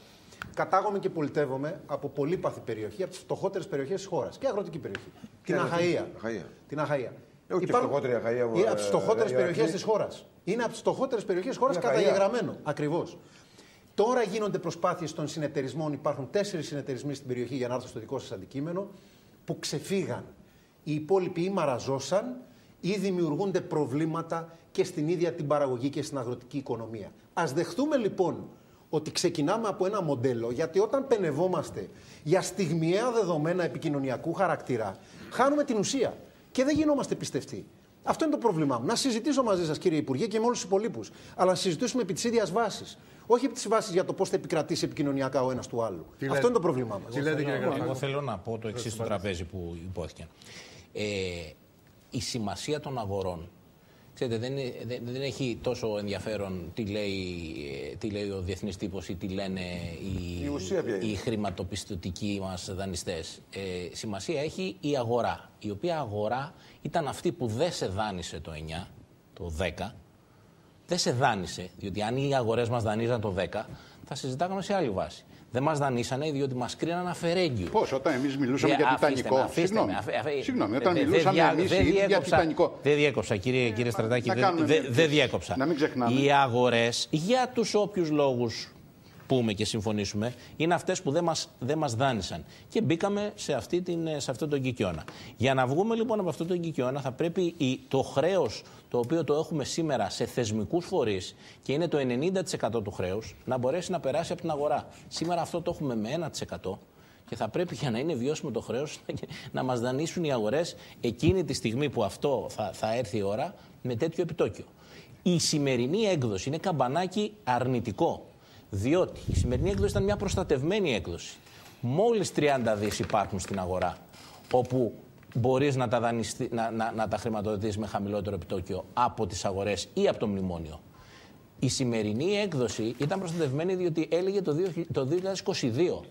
Δεν είναι εύκολο να εκδοθεί ομόλογο το οποίο θα λύγει μετά το 2022, κύριε Υπουργέ. Διότι το 2022 η χώρα έχει ένα πρόγραμμα προστασίας, είναι σε μια μνημονιακή κατάσταση, έχει μέτρα που τις έχουν επιβάλει δανειστές και δεν έχει αντιμετωπίσει τα τοκοχρεωλήσια τα οποία λήγουν από τότε. Την περίοδο χάριτος, η οποία θα εκτοξεύσει το δημόσιο χρέος. Μήπως σήμερα- Άρα μήπως να κάνω λοιπόν, μια μη σε- σκέψη. α, α, α, με επιτρέψετε, Μια εγώ σκέψη προσπαθώ, μόνο. προσπαθώ να τα πω όλα αυτά τα πράγματα πάντα με τη φανέλα τη Εθνική Ελλάδο για να δούμε το μέγεθο του προβλήματο που έχουμε να αντιμετωπίσουμε. Τι είδου ομόλογα Λοιπόν, νομίζετε εσεί πρέπει να εκδοθούν. δεν είναι θέμα τι ομόλογα ε, πρέπει να εκδώσει. Τα κλασικά ομόλογα, αυτά που εκδώσαν σήμερα. Τι θα πούν οι αγορές, Τι, τι θα τι επιτόκιο θα σου για να- δώσουν. ε, Για να να τα πάμε πούμε, λοιπόν τώρα. μου επιτρέπετε Πάμε να λοιπόν. ρωτήσω Πάμε. μια- μια- Να- μια- να- Να μια- τελειώσω μια κουβέντα κύριε από τον Υπουργό, κύριε γιατί- Υπουργέ, ένα λεπτό. Για να μπορέσουμε λοιπόν να δονηθούμε πραγματικά. μια κουβέντα γιατί. Πρέπει, να, πρέπει η χώρα να είναι φερέγγια και για να είναι η χώρα φερέγγια πρέπει να περάσει πολύ γρήγορα σε ρυθμού ανάπτυξη. Και για να περάσει σε ρυθμούς ανάπτυξης πρέπει να έρθει νέο χρήμα. Και για να έρθει νέο χρήμα από επενδυτές πρέπει ο κρατισμός να μαζευτεί. Εμείς λοιπόν θεωρούμε ότι αυτή η κυβέρνηση δεν μπορεί να υπηρετήσει αυτή ακριβώς τη λογική του να μαζέψει τον κρατισμό. Εγώ άκουγα να έρθουν για την άφηξη των επενδυτών εάν καταργούσαμε τον προστατευτισμό των εργαζομένων. Το καταργήσαμε. Αυτό ήταν. Αυτό, ε, Τα ρίξαμε όλα στον αυτό, Κιάδα. αυτό Και ήταν δεν λάθος. ήρθε. Δεν αρκεί Ήταν αυτό. λάθος στρατηγική, κύριε Στρατάκη. Διότι Γιατί πάντα. στα αυτιά ακούστε, μου ηχού ο στόχος ο μας. συνεπίθετος Κύριε, Λοβέρδος κύριε, κύριε με τον, Στρατάκη, α, ο στόχος μας δεν πρέπει Καμία να σχέση είναι δεν έχω εγώ, φθηνό εργατικό δυναμικό και φθηνά Αυτό δεν προϊόντα. κάναμε, Πρέπει έτσι, να είναι. μπράβο. Μα λάθος ήταν αυτό. Και ήταν λάθος των δανειστών. Δεν τους Κύριε, κύριε Υπουργέ, αγιοποιούμε. Λοιπόν, καταρχάς το ότι οι ΔΑΕΣΠΑ απέτυχαν έχει απαντηθεί αυτή η ερώτηση στη Βουλή. Πάρτε τα νούμερα, θα δείτε ότι επειδή κάθε πρόγραμμα το ξεκινάει έχει ένα gap, και φουσκώνει στο τέλος, θα το δείτε. Όλα τα προγράμματα ιστορικά στην αρχή είναι μικρά και μετά περίμενα την μεγαλώνουν. απάντηση αυτή, είστε Θα συνεπείς, δείτε, την θα περίμενα. δείτε λοιπόν ότι αν συγκρίνετε το, και τα δύο προηγούμενα προγράμματα, πώς ξεκινήσαμε εμείς και πώς είχατε ξεκινήσει οι προηγούμενες κυβέρνηση, θα δείτε ότι έχουμε πολύ μεγάλη προ... ε, α, έχουμε πολύ καλύτερες αποδόσεις αυτή τη στιγμή για πρώτο χρόνο προγράμματος. Δεύτερον, ε, τραπεζικό σύστημα. Το τραπεζικό σύστημα το βρήκαμε διαλυμένο, το ξέρετε, το ξέρω. Ναι, αλλά το προστατεύετε είναι και το- διαλυμένο. Δεν, αυτή τη στιγμή είναι. Δεν μπορεί να κάνεις τίποτα. Απλά Είναι- επί- μπορεί να κάνεις, επί δεν των μπορεί να ημερών κάνεις. σα φύγανε, φύγανε 50 Είναι δις καταθέσεις. επιτυχία Δεν είναι ότι- μικρό, κύριε Υπουργέ, Κοιτάξτε, αυτό. Το ότι φύγανε οι καταθέσει. 50 δις. Κοιτάξτε. Και κλείσαν οι τράπεζες. Αυτό δεν είναι... Α αναζητήσουν τις ευθύνες αυτοί που μιλ- καταστροφολογούσαν σε βάρος της χώρας που τώρα μου λέτε για εθνική Ελλάδος. Όταν λέγαμε στον κόσμο, όταν λέγανε στον κόσμο ότι η Ελλάδα πεθαίνει, βουλιάζει κτλ. Και, και έφευγε ο κόσμος ουσιαστικά από αυτά που άκουγε, και όταν η κατα- καταστροφολογία ακουγόταν μέχρι πριν από τρεις μήνες ότι δεν θα κλείσει η αξιολόγηση, θα καταστραφούμε, θα βγούμε, θα κάνουμε και τρόμαζε ο κόσμος και έβγαζε τα χρήματά του. Και είδαμε τηλεεφημερίες, γιατί εδώ να συγκρίνω τη σημερινή σας τοποθέτηση, που είναι μια συνετή τοποθέτηση. Πραγματικά δεν λέτε ότι είναι μια καταστροφή, είναι όμως λες ένα ομόλογο το οποίο να δούμε πώς, μετρημένα και όλα αυτά.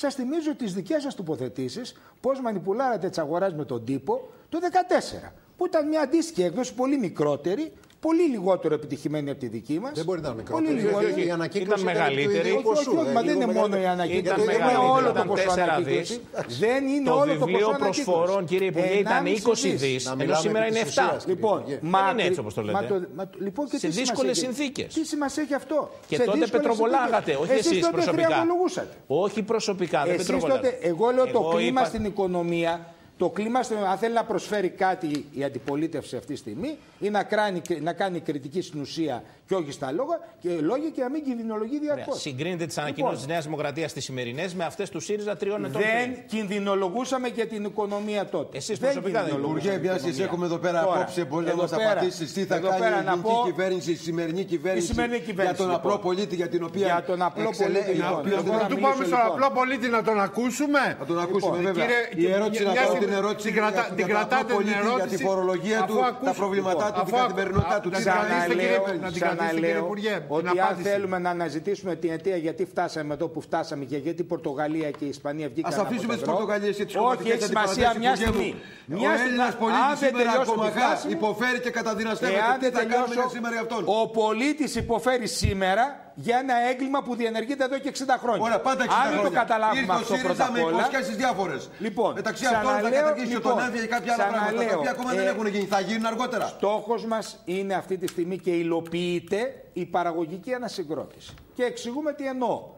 Έχουμε, και θα το πω το παράδειγμα, τους διαλυμένους συνεταιρισμού, τους κρατικοδίαιτου συνεταιρισμού, σήμερα στο γραφείο Μπράβο. Μίχα Πολύ συνεταιριστέ, οι οποίοι μου είπαν με πάσα ειλικρίνεια, ο κόσμος φοβάται πια να μπει σε συνεταιρισμού.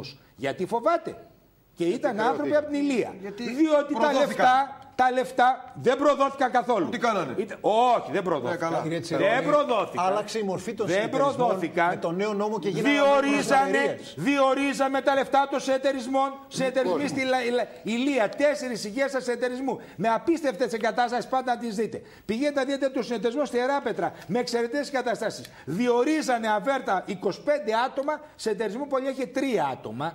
Διορίζανε τα κουμπαροξάδερφα. Ε, φυσικά, έτσι, φυσικά, να έτσι. τα λέμε. Φυσικά έτσι να λέμε γινόταν. λοιπόν Φυσικά ότι τα ξέρουμε και αγοράζανε, αυτά κατηγορούμε. αγοράζανε τα μηχανήματα που δεν χρειαζόταν ο Γιατί συνεταιρισμός. επανέρχεστε Και κύριε Υπουργέ; όλοι. Αυτό δεν αμφισβητεί Για κανένα να- αυτά τα δεδομένα. Α, δεν Εδώ τα αμφισβητούμε. Θα αμφισβητήσουμε ότι Άρα γίνανε λοιπόν λάθη με του πια συνεταιρισμού. μιλάμε. Μα, Όχι, δεν ε, τα δεν λάθος. μιλάμε- Συγγνώμη. Όχι, δεν τα λάθος. Εγκλήματα, Ωραία, πέστε το εγκλήματα. όπως θέλετε λάθος. κύριε Τσιρόνι. Επί της Ήταν ουσίας διαφθορά συγκεκριμένη. Κύριε Είναι Τσιρόνι, αυτό που λέτε κύριε μεταρρυθμίσεις. Τσιρόνι, Δεν έχω δει ούτε μία μεταρρύθμιση. έχει δίκιο, είναι Ούτε μεγάλες μία. Κρίσεις. Ξέρετε Μόλις κάτι. πάμε να κάνουμε μία Ωραία. μεταρρύθμιση. Να σας πω μια Να μεταρρύθμιση. συμφωνήσω σε κάτι. Δασικοί χάρτες. Αυτό είναι να μεταρρύθμιση. συμφωνήσουμε σε κάτι. Γιατί τραβάτε χειρόφρενα λοιπόν στους Να- δασικούς χάρτες σήμερα η Δύο λεπτά. αντιπολίτευση. Εσείς Προκαλώ. Συγγνώμη, συγγνώμη, Εσείς συγγνώμη, βάζετε να κλείσουμε σε αυτό. χειρόφρενο. Μισό λεπτό. Έχετε ή Για δεν τους έχετε αυτή δασικούς τη χάρτες, στιγμή. Περιφερειάρχε Μην της πάμε. Νέας Δημοκρατίας που προκαλούν και λένε μην πάτε να κάνετε τι αντιρρήσει στους πολίτες. Ακούστε Και να δείτε. μένουν δασικοί χάρτε Με χωρί το αντιρρήσει. ΣΤΕ Έχετε καταλάβει. Έχετε βρει άκρη με το ΣΤΕ. Φυσικά, μια χαρά άκρη Πού έχουμε είναι με η το άκρη; ΣΤΕ. Θα Έχει, σας την πω έχει τι ΣΤΕ. εγκριθεί η διαδικασία αυτή που κάνετε; Φυσικά όλοι. Κάνετε πολύ μεγάλο. Όλη η διαδικασία. Τότε- Εάν θέλετε τότε να μιλήσετε για το προς ΣΤΕ, ποια- προς εάν ποια- αναφέρεστε ποια για το η ΣΤΕ, λογική; επειδή είναι δική μου νομοθεσία και μπορώ να σας την πω αναλυτικά, και αυτή είναι μια μεγάλη, η μεγαλύτερη σου Πάμε, μεταρρύθμιση, πάμε να δούμε τι θα γιατί λύσει να αυτό. Ναι. ρωτήσουμε του επιχειρηματίες. Οι οποίοι επιχειρηματίες είχαν, πήγαιναν να κάνουν μια επένδυση σε ένα εργοστασιάκι και αν δεν πλήρωναν το γρηγορόσημο, περνήμα τρία και τέσσερα και πέντε χρόνια να πάρουν πράξη χαρακτηρισμού, αν δεν είναι δασικό το κτηματάκι. κύριε λοιπόν, Υπουργέ, ρωτάω λοιπόν, Πάμε, λοιπόν, το ναι, ΣΤΕ. πάμε. Τι κάναμε για το Συμβούλιο της Επικρατείας αυτή τη στιγμή και γιατί το Συμβούλιο της Επικρατείας έβγαλε, έβγαλε την απόφαση που έβγαλε. και Άρα θα δεν δείτε είναι εδώ θετική πέρα. λοιπόν. Όχι, η απόφαση αυτή δεν βλάπτει τον νόμο, δεν έχει καμία σχέση με τον Μισό νόμο. λεπτό. Μιλάμε Το- το συγκεκριμένα πρόβλημα- το για πρόβλημα το τους λύνεται. Το φυσικά θα Το λυθεί. πάτε- το πάτε κάτω από το Φυσικά χαλί. θα λυθεί. Το Δεν πάτε το στο πάμε μέλλον. κάτω από το Πότε χαλί. θα Όχι, λυθεί; όχι, δεν Να το πάμε πάμε κάτω από λίγο το χαλί. στους Συνταγματική Πρόεδρε, αναθεώρηση είστε ε, έτοιμοι κύριε να Υπουργέ. δούμε το θέμα των Μπορεί, βασικών; θε- να μας, θα με αφήσει να σας απαντήσω. Ναι. Να πάμε Τι λίγο έβγαλε στους το ΣΤΕ. συνεταιρισμούς Α, δεν που μπορώ πραγματικά έτσι. έχουν Α, εγκληματίσει δεν μπορώ έτσι. σε βάρος πάμε, παραγωγικών Τι τάξεων. θέλετε, Τι θα συνεταιρισμούς; Μην ή μπερδευόμαστε. δασικούς Μην κάρτες. μπερδευόμαστε. Έχουν εγκληματίσει σε Μην βάρος παραγωγικών μπερδευόμαστε. τάξεων. Τι θα γίνει Περιμένουν για αυτούς, θα γίνει περιμένουν και κάθαρση. τηλεθεατές Κοιτάξτε, στον αέρα. Να γυρίσω στους εταιρισμού λοιπόν, αφού θέλετε. Όχι, εσείς. αυτό είναι Όχι, όχι, η όχι. μεγάλη. Να τα πούμε μετά τους τηλεθεατέ, τους κύριε Υπουργέ. τηλεθεατές. Λοιπόν, κύριε Παναγιώτη, καλησπέρα σας. Καλησπέρα κύριε Λοβέρδο. Εγώ είμαι. Μ' εγώ είμαι. ακούτε; Εγώ είμαι. Σας ακούω μια χαρά και τη γυναίκα σας την ακούω. Τι- Που το αμφισβητεί. Χαίρ- Χαίρομαι που μ' ακούτε και που επικοινωνώ μαζί σας και σε περιμένω κάθε Τρίτη και Πέμπτη που έβγαινες εκεί με το κύριο Παυλόπουλο και το, Από το Σεπτέμβριο και πάλι. και το Γεργάκη, ναι. Λοιπόν, άκουσε κύριε Γιάννη, πού θα να αρχίσουμε και πού να τελειώσουμε. Είχε πει σε κάποιο πάνελ ότι όποιος λέει τα περισσότερα ψέματα γίνεται και πρωθυπουργός. Το θυμάστε; Πώς δεν το θυμάμαι. Α, έτσι και από αυτά τα ψέματα, μία με τον Γιωργάκη και μία με τον Τζίπρα την πατήσαμε. Παρόλο ήμουνα 10 χρονών παλικάρι και κακακιά πήρα από αυτούς τους κομμουνιστές, τους λέγαμε και κατσαπλιάδες, τους λέγαμε και δεν συμμαζεύεται. Εγώ είμαι από τη Γορτινή, από την Κοντοβάζενα. Σε κάποιο χωριό πιο κάτω ήταν της μάνα το χωριό το Βούτσι και είχαν δώσει τότε το 49 Από το Βούτσι είσαι; ναι, περίμενε, μη βιάζεσαι, θα τα βρούμε όλα. Το 49 ήμουν 10 χρονών. ε. Και διατα... η- το επιτελείο του συναγωνιστές ήταν στην Κοντοβάζενα και είχαν δώσει διαταγή όσοι πίζουμε το γάλα την ημέρα εκείνη θα το πάμε το φρέσκο τυρί στους συναγωνιστές. Η μακαρίτσα εμένα μου πήγαινε με τα πρόβατα. Ο γέρος μου με ένα άλογο είχε πάρει να πάρει κανένα φράγκο αγωγιάτης. Μου λέει Παναγιωτάκη θα το πας. Μια ώρα δρόμο. Ό,τι είχες στρατήξει λίγο η τσαντίλα και δέχανα από κάτω τα ζουμιά και το πήγα στους συναγωνιστές. Αλλά λέω τώρα μήπως αλλάξαν τα πράγματα, δυστυχώς. Αν έχεις δει κύριε Γιάννη το έργο με το μακαρί τον Ηλιόπουλο ζητείτε ψεύτης, αν ήταν ο Τσίπρας θα είχε πάρει το χρυσό φίνικα. Να είσαι καλά, να είσαι καλά. Συγγνώμη, Παναγιώτη. μισό λεπτό. Από το όχι, Βούτσι ποιος είσαι, μισό λεπτό. Εκεί είναι, Με- κοντά, με- από εκεί με- κοντά με- είναι η καταγωγή. Ε, Λι- Λοιπόν, άκουσε ρε ξάδερφε. Ε, να, Να βγείτε και Γιαννάκη. Αχ, Μ' ακούς ρε. σ' ακούω. Κανελάκης λέγεται και ο κύριος. Μου Κανελάκης. λένε τώρα, Κανελάκης, ναι. Κανελάκης είσαι, ρε μεγάλε. Πάντως, Καραφωτία, πάντως δεν Παναγιωτάκη. είναι, δεν είναι με τον Τσίπρα όπως εσύ. Δεν έχει Λοιπόν. σημασία ποιος είναι. Μην, μην, μην μοιράζεις πιστοποιητικά κοινωνικών φρονημάτων απόψε, εσύ, Λοβέρτε. Ηρέμησε. Λοιπόν, Εγώ- εγώ το από, κάνω. πού, από, από το Βούτσι από ποιον είσαι; Βερτία του Κανελάκη ρε, του Καραφωτιά ο γιος είμαι ρε, ο Ε, Μίλα, ρε Παναγιώτης μεγάλο, του. εγώ με του Ποήλου. Άσε, βρεθήκαμε Άκουσε συγγενείς. να δεις τώρα. Πάμε παρακάτω. Κύριε Μιχάλη, καλησπέρα Γεια σας. σου. Καλησπέρα κύριε Λοβέρδο. Έχετε κρατήσει εκεί τίποτα βιντεάκια με αυτά που έλεγε ο κύριος Τσίπρας προεκλογικά να βάλετε εκεί να τα δουν οι κύριοι που μας λένε, συνεχίζουν να μας λένε ψέματα.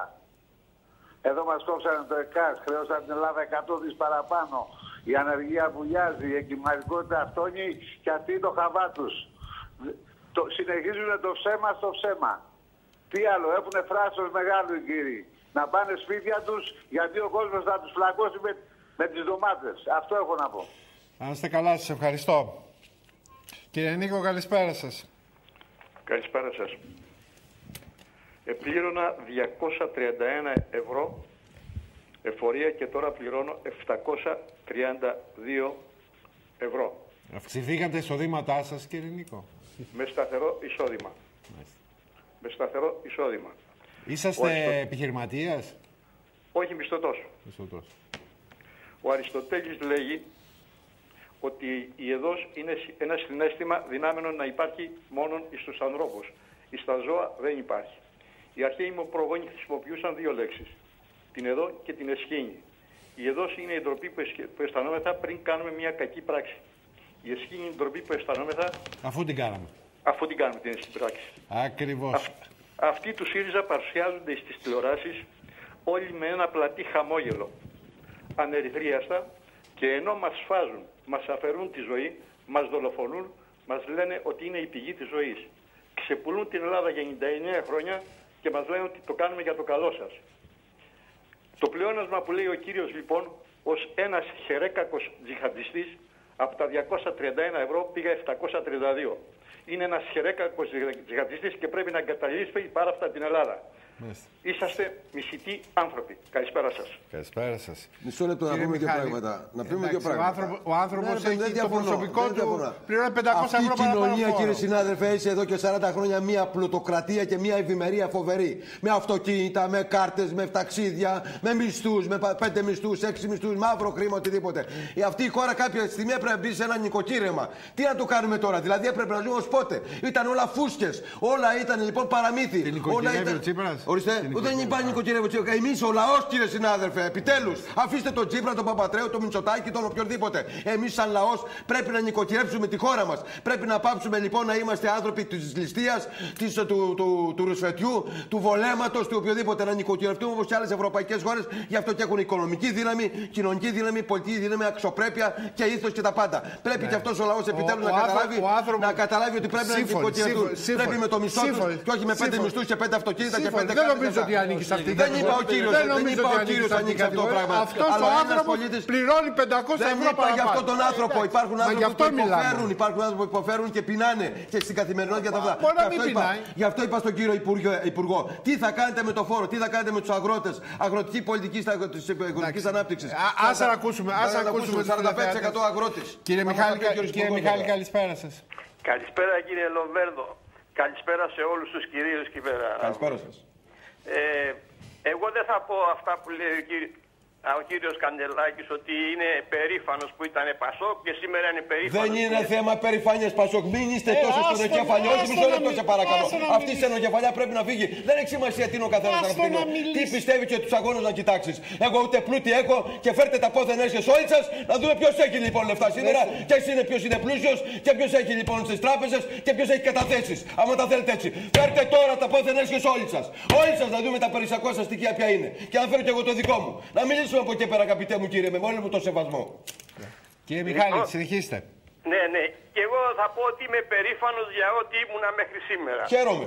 Αλλά, αλλά από εδώ και πέρα θα ψηφίσω με τα τέσσερα χέρια ΣΥΡΙΖΑ. Γιατί, να σας πω το γιατί πράγμα. Πρ- Πρώτα πρώτα έσκησε το μνημόνιο. Δεύτερο, κατάργησε τον έμφυα. Τρίτο, κατάργησε τα διόδια.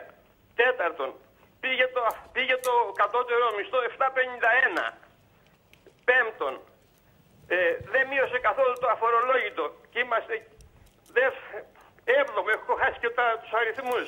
Το καταλάβαμε κύριε Μιχάλη, καταλάβαμε Ε, ε, πολύ καλά το πνεύμα σας. Και το ήθος. Και το... Όχι, ε, ναι, συγγνώμη, εντάξει, δεν μην το τελειώνω, το πεις συγγνώμη. ανήθικο, το πεις στον άνθρωπο. Έδωσε- Το ήθος. έδωσε Ε, προς και- Θεού. Το πολιτικό λέω. Προς Θεού, ο Το άνθρωπος- πολιτικό. ο άνθρωπος Είπα το είναι- κοινωνικό του ή το οικογενειακό. Κύριε Το Λοβέρδο, θα με αφήσετε Ελε- να με Ελεύθερα μιλάμε εδώ. Ο καθένας Ναι, έχει την εντάξει. άποψή του. Έδωσε τη 13η σύνταξη. Αλλά κατά λάθος κάποιος έκανε λάθος εκεί στο, στα γραφεία και μας έδωσε το τρίτο και το μακρύτερο. Εντάξει, εντάξει, εντάξει. Ε, Σας μετά που ευχα- λες εμένα, Σας εντάξει. ευχαριστώ πολύ. Κυρία Γεωργία, καλησπέρα σας. Ναι, καλησπέρα κύριε Λεβέρδο.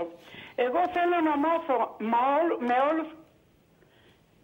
με όλους... Ναι, Ναι, με ακούτε; σας ακούμε, σας ακούμε. Εγώ θέλω να μάθω το εξής, κύριε Λεβέρδο. Όλοι αυτοί οι κύριοι που είναι εκεί, αντί να τσακώνονται ο ένας με τον άλλον, ποιος έκανε ε, κα- με- κα- ε, πιο πολλά και ποιος έκανε τα λιγότερα και να τα βάζουν και να τα δικίζονται, δεν κοιτάνε να μονιάσουν, να πάμε μπροστά. Ας, ας αφήσουν το τζίμπρα να κάνει ό,τι κάνει. Ας τον αφήσουν το χριστιανό. Μπήκαν, μπήκαν όλοι να τον φάνε. Γιατί; Γιατί; Είναι, ε, ε, τα έκανε καλύτερα ο Γιωργάκης, τα έκανε καλύτερα, τα έκανε καλύτερα ο Σαμαράς. Τώρα θα έρθει ένας κούλης να μας σώσει. Γιατί να, δι- να διώξει όλο τον κόσμο; Εγώ με κανέναν δεν είμαι. Εγώ ήμουν, ψήφιζα Νέα Δημοκρατία και τους μούτσοξα όλους. Ούτε και τους ξαναψηφίζω. Ας αφήσουν τον χριστιανόν αυτό να, δει, να δούμε τι θα κάνει. Είπε, ανέβηκε πάνω μας κορόιδεψε. Είπε ψέματα. Δεν μπορούσε να κάνει διαφορετικά. Όπως δεν μπορούσε να κάνουν κι άλλοι. Γιατί οι άλλοι δεν μας είχαν φλωμώσει στο ψέμα. Δεν μας είχαν φλωμώσει στο ψέμα. Σας ευχαριστώ Εμένα πολύ. ήταν Σας άκρη μου ευχαριστώ δημόσιο. πολύ κύριε Έχετε Γεωργία. απόλυτο δίκιο, αλλά κριτική πρέπει να κάνουμε σε Κύριε όλους, Δημήτρη, κύριε. καλησπέρα σας. Καλή σας, καλησπέρα σας κύριε στο πάνελ όλο. Γεια σας. Ας τώρα κύριε Ρομπέρ να σας κάνω μια ερώτηση. Αν θέλετε μου απαντάτε. Σας Δεν ακούω. θέλετε δικαιώ- δικαίωμά σας. Πολιτισμένα. ακούω. Μπορείτε να μου πείτε το εξής. Ποιοι κυβερνούσανε που μας χρεοκοπήσανε. Και τι εστί χρεοκοπία; Απάντηστε μου. Η Νέα Δημοκρατία και το Πασόκ, σας απαντάω εγώ. Στην Ελλάδος; Και μετά θα, θα έχω δευτερολογία να μας απαντήσετε. Να είστε καλά κύριε Δημήτρη. Θέτε ένα αυτονόητο ερώτημα. Το ποιοι κυβέρνησαν αυτή τη χώρα είναι απολύτως γνωστό. Την κυβέρνησε από το 1974 με το 1981 η Νέα Δημοκρατία υπό τον Κωνσταντίνο Καραμαλή. Από το 1981 μέχρι το 1989 ο Ανδρέας Παπανδρέου με το Πασόκ, που δεν ήταν το ίδιο με τον Καραμαλή. Έτσι, γιατί λέμε 40 χρόνια. Ήταν το ίδιο ο Καραμαλής με τον, Καρα... με τον Ανδρέα Παπανδρέου. Ήταν το ίδιο ο Μητσοτάκης με τον Σιμίτη που ήρθε μετά. Ήταν το ίδιο ο Σιμίτης με τον Κώστα Καραμαλή. Αυτή η κυβέρνησα. Το ηγέτης- ξέρουν όλοι οι Έλληνες. Ο ηγέτης Μακρανών. Πώς χρεοκόπησε αυτή η χώρα, να μας ηγέτης πείτε. Μακρανόλων Ξέρετε Ατέρας. πώς χρεοκόπησε αυτή η χώρα; Αυτή η χώρα χρεοκόπησε διότι υπέκυψε στον εύκολο πλουτισμό, Α, μπράβο. υπέκυψε, υπέκυψε στον εύκολο δανεισμό, διορίζοντας στρατιές α, δι- δι- δημοσίων υπαλλήλων για να φτιάχνουν κομματικές, κομματικούς στρατούς όλα τα κόμματα Έτσι. Και βγάζοντας στη σύνταξη τους πεντάριδες. Με αποτέλεσμα από το 2001 μέχρι το 2009 που μπήκαμε, το 2000 μέχρι το 2009 που μπήκαμε στα μνημόνια, να έχουμε δώσει μόνον για συντάξεις 230 δισεκατομμύρια. Που είναι μαζί με τους τόκους όλο το δημόσιο χρέος. Αυτή είναι η αλήθεια. Αλλά δεν θέλετε ακόμα να ακούσετε την αλήθεια πολύ. Ε, πρέπει να την μάθουν να την ακούνε. Κύριε διότι- Γιάννη, καλησπέρα σας. Καλησπέρα. Γεια σας. Καλησπέρα σας. Γεια σας. Καλησπέρα σας. Σας ακούμε. Καλησπέρα. Έχετε την τηλεόραση, ακούτε την τηλεόραση. Δεν ακούτε μας. ναι, να χαμηλώσω λίγο τη τηλεόραση. Ναι, μισό λεπτό, μισό λεπτό. Να κάνουμε ένα διάλειμμα. Ναι, δεν πειράζει. Λοιπόν, κοιτάξτε. Είμαι 68 χρονών. 68 χρονών είμαι. Κανελάκι, πρόσεχε πώς μιλάς. Γιατί δείχνεις μεγάλος καραγκιόζης. Ε, σας παρακαλώ, σας Όχι, δεν παρακαλώ. πειράζει, δεν πειράζει. Ευχαριστώ Σας πολύ, παρακαλώ, ευχαριστώ πολύ. κύριε Γιάννη, Συνεχίστε. όχι Συνεχίστε, χαρακτηρισμούς. ευχαριστώ πολύ, ευχαριστώ, Έχει συνεχίστε. δικαίωμα, έχετε δικαίωμα λέτε Συνεχίστε. οποιαδήποτε πολιτική άποψη, Συνεχίστε, αλλά όχι κύριε μου. προσωπικούς συνεχίστε, χαρακτηρισμούς. Συνεχίστε, κυρία Ε, μου. Τι θα πει, θα πει τα ίδια. Ευχαριστώ πολύ, πάντως Να τον- συνεχίστε. να Σε τον ευχαριστώ ευχαριστώ. πολύ. Ευχαριστώ. Κύριε Γιώργο, καλησπέρα σας. Ναι, καλησπέρα κύριε Γιάννη. Θα ήθελα να απευθυνθώ στα πολιτικά πρόσωπα και να ρωτήσω το εξής. Οι μεν επέρονται ότι θα φέρουν την ανάπτυξη, οι δε άλλοι λένε ότι εσείς είσαστε ανίκανοι να φέρετε την ανάπτυξη, θα τη φέρουμε εμείς. Και γι' αυτό πρέπει να γίνουν εκλογές. Εγώ ρωτώ, ποια ανάπτυξη θα φέρουν. Θα αλλάξει η μοίρα των Ελλήνων, θα αλλάξει δηλαδή η μόλις έρθει η ανάπτυξη, θα πέσει η ανεργία στο 5%, θα αρχίσουν να μοιράζουν, να δίνουν ε, μισθούς αξιοπρέπειας στους Έλληνες; Ποια ανάπτυξη μιλάνε, γιατί δεν τα λέτε καθαρά; Να πείτε στο λαό ότι ξέρετε θα έρθει ανάπτυξη όπως στη Βουλγαρία και στην Τουρκία. Εκεί πήγαν επιχειρήσεις πάρα πολλές, εργοστάσια ανοίξανε. Οι Βούλγαροι και οι Τούρκοι, ο λαός, τι απολαμβάνουν, 180 ευρώ μισθό. Πέστε την αλήθεια ότι θα μας πάτε στα 4 εκατοστάρικα μισθό. Το κεφάλαιο σας ενδιαφέρει να έρθει η ανάπτυξη να, να εκμεταλλευτεί τους σπόρους που έχει η χώρα. Για το λαό δεν ενδιαφέρεται δυστυχώς κανείς. Μα κανείς ανεξαρτήτως χρώματος. Τους ενδιαφέρει η καρέκλα τους, τους ενδιαφέρει ο μισθός τους. Γιατί λοιπόν αφού τους ενδιαφέρει η Ελλάδα δεν λένε η, η Ολλανδία έχει 30 εκατομμύρια πληθυσμό και έχει 200, 150 βουλευτές πόσους έχει. Να κόψουμε αμέσως τους βουλευτές. Γιατί πού δείχνουν αυτοί ότι πονάνε, πού μας δείχνουν το πόνο; Να είστε καλά Εκεί κύριε θέλω Γιώργο, να σας μου ευχαριστώ απαντήσετε. πολύ. Ε, πάμε στα διαφημιστικά μηνύματα. Ακούσαμε πολλά από τους τηλεθεατές Οι πολιτικοί μας και οι δημοσιογράφοι φυσικά θα απαντήσουν αμέσως μετά τα διαφημιστικά μηνύματα. Μα κανένας. Λοιπόν, επισ- επιστρέφουμε για το τελευταία 25 λεπτά της απόψινής μας εκπομπής. Είναι κοντά μας ο Υπουργός Αγροτικής Ανάπτυξης, αν πρώτης Υπουργός Ανάπτυξης, Αγροτικής Ανάπτυξης, ο κύριος ε, Ε, με Γιάννης τον Ιερώνης. σχηματισμό θα αναβαθμιστεί. Ναι. Θα τον κάνουμε και πρωθυπουργό. Ε, τι όχι. Γιατί κακός θα είναι. Όχι, πάω τίποτα. Λοιπόν, Γιατί ε, όχι. Και ε, προς πείσμα κάποιοι θα εξακολουθούν να χαμογελάω, γιατί έτσι έχω μάθει. Να το. Στα δύσκολα. Να το λοιπόν. Στα- Στα δύσκολα δεν έχετε πρόβλημα εσείς. Εσείς είστε ε, μια χαρά. Ε, εδώ συζητήσαμε όμως αρκετά ζητήματα, κύριε Υπουργέ, και ακούσατε και τους τηλεθεατές.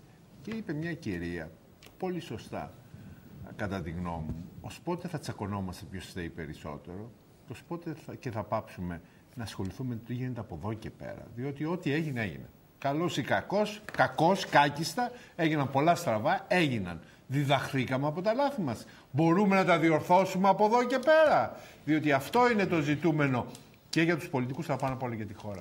Πρώτα πρέπει όμως, συγγνώμη, να επιλέξουμε προς τα που θέλουμε να κινηθούμε. Ε, ναι, Έτσι. βέβαια, βέβαια, βέβαια, βέβαια, Δυστυχώς η βέβαια. επιλογή αυτή τη Και με στιγμή ποιο είναι τρόπο; μονόδρομος. Δεν Και υπάρχει από εκεί άλλη και μετά επιλογή. είναι Από εκεί και μετά. Από εκεί και μετά Κύριε και Τσιρόνι, υπάρχουν έχουμε άλλες μνημόνιο. εναλλακτικές. Έχουμε μνημόνιο με λίγες Να σας πω ένα πολύ απλό Με παράδειγμα. λίγες εναλλακτικές. Να σας πω ένα πολύ απλό παράδειγμα που δεν είναι μονόδρομος και είναι τεράστια σημασία για την Ελλάδα. Σήμερα, για παράδειγμα, όλος ο πλανήτης μιλάει για παθρακοποίηση. Να παράγουμε ενέργεια από ανανεώσιμε πηγές ενέργειας. Ανανεώσιμη πηγή ενέργειας είναι ένα φωτοβολταϊκό πάρκο σε όλη την Αθήνα. Ανανεώσιμη είναι η βιομάζα των καλλιεργητών μας, να αρχίσουν να βγάζουν χρήματα από τα υπολείμματά τους. Ανανεώσιμη είναι και τα μεγάλα τα φαρεώνικα αιωλικά πάρκα που είναι πάνω στην κορφή ενός βουνού και που για να λειτουργήσουμε αξιοπιστία πρέπει να έχουν πίσω και το φυσικό αέριο του ίδιου επιχειρηματία. Το τρίτο μοντέλο για μένα είναι τελείως λάθος. Τελείως. Να σας το πω πολύ απλά, μπορώ να το αποδείξω. Όλοι λοιπόν αυτή τη στιγμή οι επενδύσεις που μπαίνουν στην Ελλάδα είναι στο τρίτο μοντέλο. Εγώ θα το γυρίσω στον αγρότη μου. Να έχω τον αγρότη μου αυτάρκη με ενεργειακούς εταιρείε. Ξεχνάτε κάτι, Άρα κύριε λοιπόν Τσιρόνι. μιλάμε Δεν για ένα το άλλο εγκρίνουμε. μοντέλο. Δεν το εγκρίνουμε όμως. Όχι, το εγκρίνουμε. Φυσικά και το εγκρίνουμε. Θα το δείτε σε λίγο καιρό με τον καινούργιο Μακάρι. νόμο για Κύριε τους Τσιρόνι, ενεργειακούς ξεχνάτε κάτι επειδή είστε στο σωστό δρόμο κατά την άποψή μου. Υπάρχει και το κομμάτι της τεχνολογίας του διαδικτύου. Ξέρετε ότι όλα πλέον από τρισδιάστατες παραγωγές αγροτικών μηχανημάτων μέχρι τη διασύνδεση, ούτως ώστε η ενέργεια να μπορεί να γίνονται grids, να υπάρχει η φτηνή δωρεάν ενέργεια πλέον. Δωρεάν. Ο ιδιώτης να μπορεί να παράγει φτηνή δωρεάν ενέργεια, να τη δίνει διαδικτυακά σε κάποιον που την έχει ανάγκη και να υπάρχει ένα κλάστερο που στην ουσία θα πέσει το κόστος Δεν μου λέτε ενεργειακής κάτι χρήσης καινούργιο. Αυτό γίνεται στη 30-40%. Γερμανία σήμερα. Στην Ελλάδα δεν γίνεται, Στην κύριε Γερμανία Τσιρόνι. λοιπόν που Αυτό οι λέμε. εταιρισμοί- Μα όπου αυτό μιλάμε πάμε για να κάνουμε. τεχνολογίες Μα και μιλάμε για αυτό συζήτηση. πάμε να κάνουμε. Εμείς θέλουμε ο κάθε Έτσι, Ιωαννή, παραγωγός. Άμα κάνετε 6 μήνες για να λήξει η αξιολόγηση, δεν μπορεί να σας περνάει ο, ο χρόνος του διαδικτύου, είναι πολύ πιο γρήγορος από τους 6 μήνες αξιολόγησης. Κάνετε πάλι τη φτηνή αντιπολίτευση. Η κυρία Μα δεν είπε, μην κάνω, τα προσπαθώ λέτε να είμαι αυτά. μαζί σας. Έξι μήνες. Αλλά ξέρετε, μου λέτε Δεν κάτι προσπαθείτε. και με ιντριγκάρετε. Δεν μπορώ δηλαδή να ξεφύγω. Ωραία, να πάμε λίγο στην Το αγροτική σας πολιτική, είπα- κύριε Υπουργέ, μια είπα- είναι στον τομέα σας. Λοιπόν. Η, η, η υγεία, η ελληνική υγεία έχει εγκαταλειφθεί από όλους. Από τους αγρότες, από τους ανθρώπους που μπορούν να παράγουν, που μπορούν να καλλιεργήσουν τα πάντα. Λόγω φόρων και λόγω άλλων μέτρων τα οποία είναι δυσμενή μέτρα. Δεν εναντίον είναι της λόγω αγροτιάς. φόρων η εγκατάλειψη της γης. Και πολλών άλλων μέτρων. Δίνετε κίνητρα για να μείνουν νέοι στην γη και στην γη και στην επαρχία, κύριε Υπουργέ. Ποια είναι τα κίνητρα που δίνετε. Και στην κυρία, Και στην που κυρία και σε είπε κάθε κάτι κύριο και πολύ κυρία. σωστό.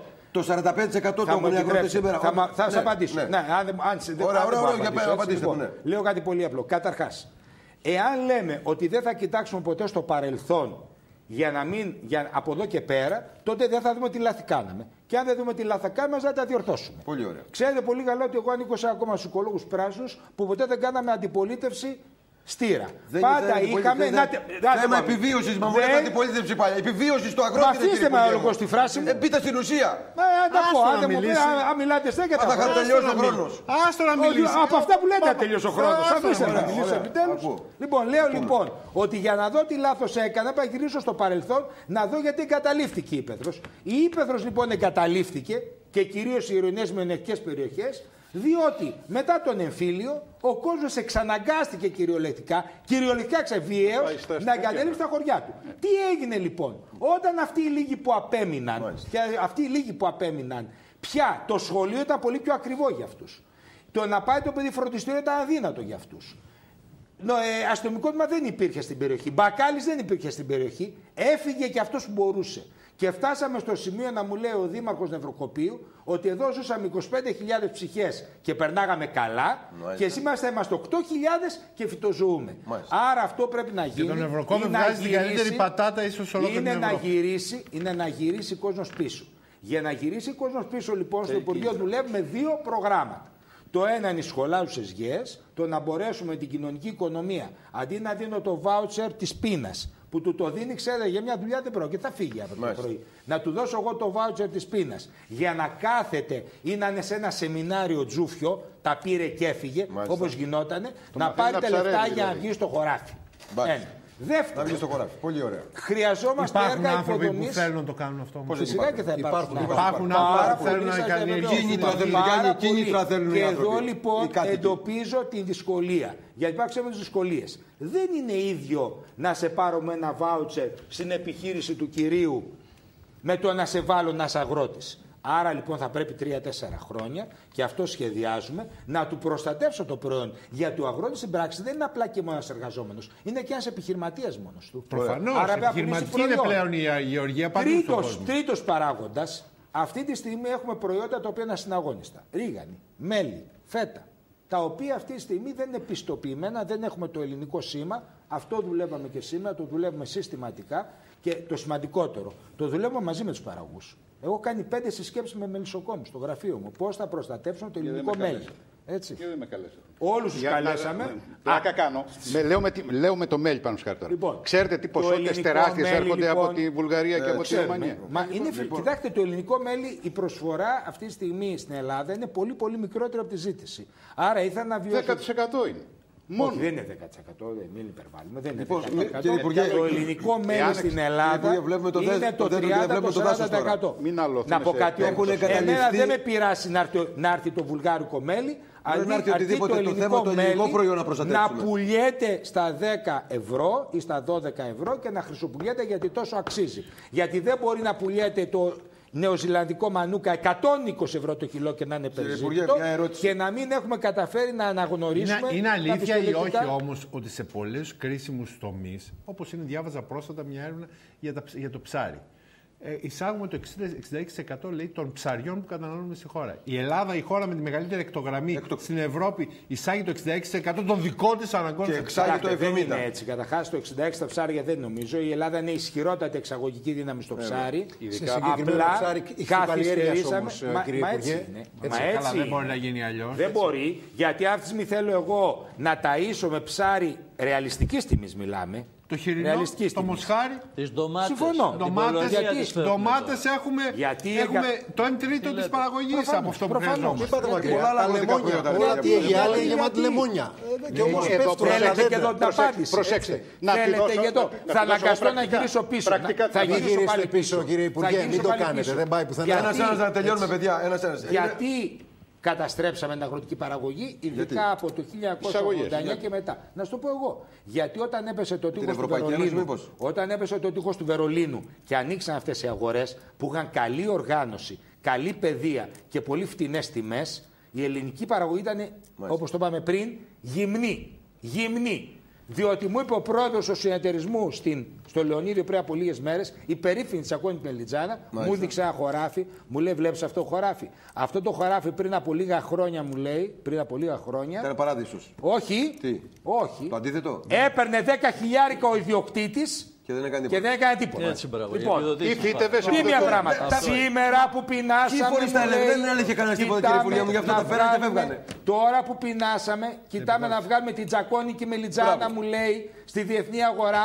Πουλάμε 0,35, δεν Ωραία, έχει καμία ωραία σχέση. αυτά. Το Ενώ ερώτημα- η Τουρκία μιλά- πουλάει 0,07. Μια και ήρθατε 7 απόψε λεπτά. το ερώτημα πολλών πολιτών που συναντάμε στους δρόμους όλοι οι συνάδελφοι. Αυτές αλλά είναι και οι εσείς, μάχες οι ναι, πραγματικές. Που συναντάμε, λέμε, θα ξαναζωντανέψει η ελληνική επαρχία. Μπορεί, Θα μπορεί, επιστρέψει φυσικά. ο κόσμος στα χωριά του που ερημώσανε. Φυσικά, φυσικά. Δεν υπάρχουν σχολεία, δεν υπάρχουν δρόμοι, δεν Αυτό- υπάρχουν τίποτα. αυτός Έχουν σας ερημώσει τα απάντησα. πάντα. Να σας Πού είναι, Αυτή πού είναι τα κύτταρα είναι η αυτά τα δουλειά ελληνικά, που- τα Να παιδιά; βγάλει. Η η Αυτή ζωντάνια, είναι η η φωνή δουλειά του που παιδιού, κάνουμε. η φωνή του παιδιού, το κουδούνι του σχολείου. Πού είναι αυτά, κύριε Υπουργέ Αυτή μου. είναι η Δεν δουλειά υπάρχουν που σχολεία. κάνουμε. Αυτή είναι η δουλειά Δεν που υπάρχουν, γιατί κάνουμε. υπάρχουν μια σχολεία ερώτηση. εδώ υπάρχουν Να σχολεία. κάνω μια Τα ερώτηση. καταλήξαν όλα και Να μισό κάνω λεπτό μια κάνει. Πώ θα γίνει να ζωντανέψει η επαρχία, τι θα κάνετε, ποιο είναι το σχέδιό σας; Ε, αυτό θέλω να κάνω μια ερώτηση. Λοιπόν, Λοιπόν, άσε να αυτή απαντήσεις. την Τι, ώρα- τι, τι κάνεις. Μα, να, να τον βοηθήσω. Πώς Να θα τον- ζωντανέψει. Να τον Να μου βοηθήσω. απαντήσει εμένα. Να μου απαντήσεις, ρε παιδί. Μισό λεπτό, Θα υπουργό. μιλήσει κανείς άλλος; Μα να απαντήσει, χωρίς να απαντήσει. Θα απαντήσει. Θα Του κάνω τον μια ερώτηση, βοηθήσω άνθρωπο. να απαντήσει. απαντήσει, θα Λοιπόν, απαντήσει. η Ιεράπετρα που είναι μια περιοχή με δυναμικές καλλιέργειες και όπου είναι πραγματικά προσανατολισμένη περισσότερο εξαγωγική και μετά εκτός εποχής, θα σας φέρω ένα παράδειγμα. Ξέρετε πού αποφασίζεται το πώς και τι θα καλλιεργηθεί στην Ιεράπετρα.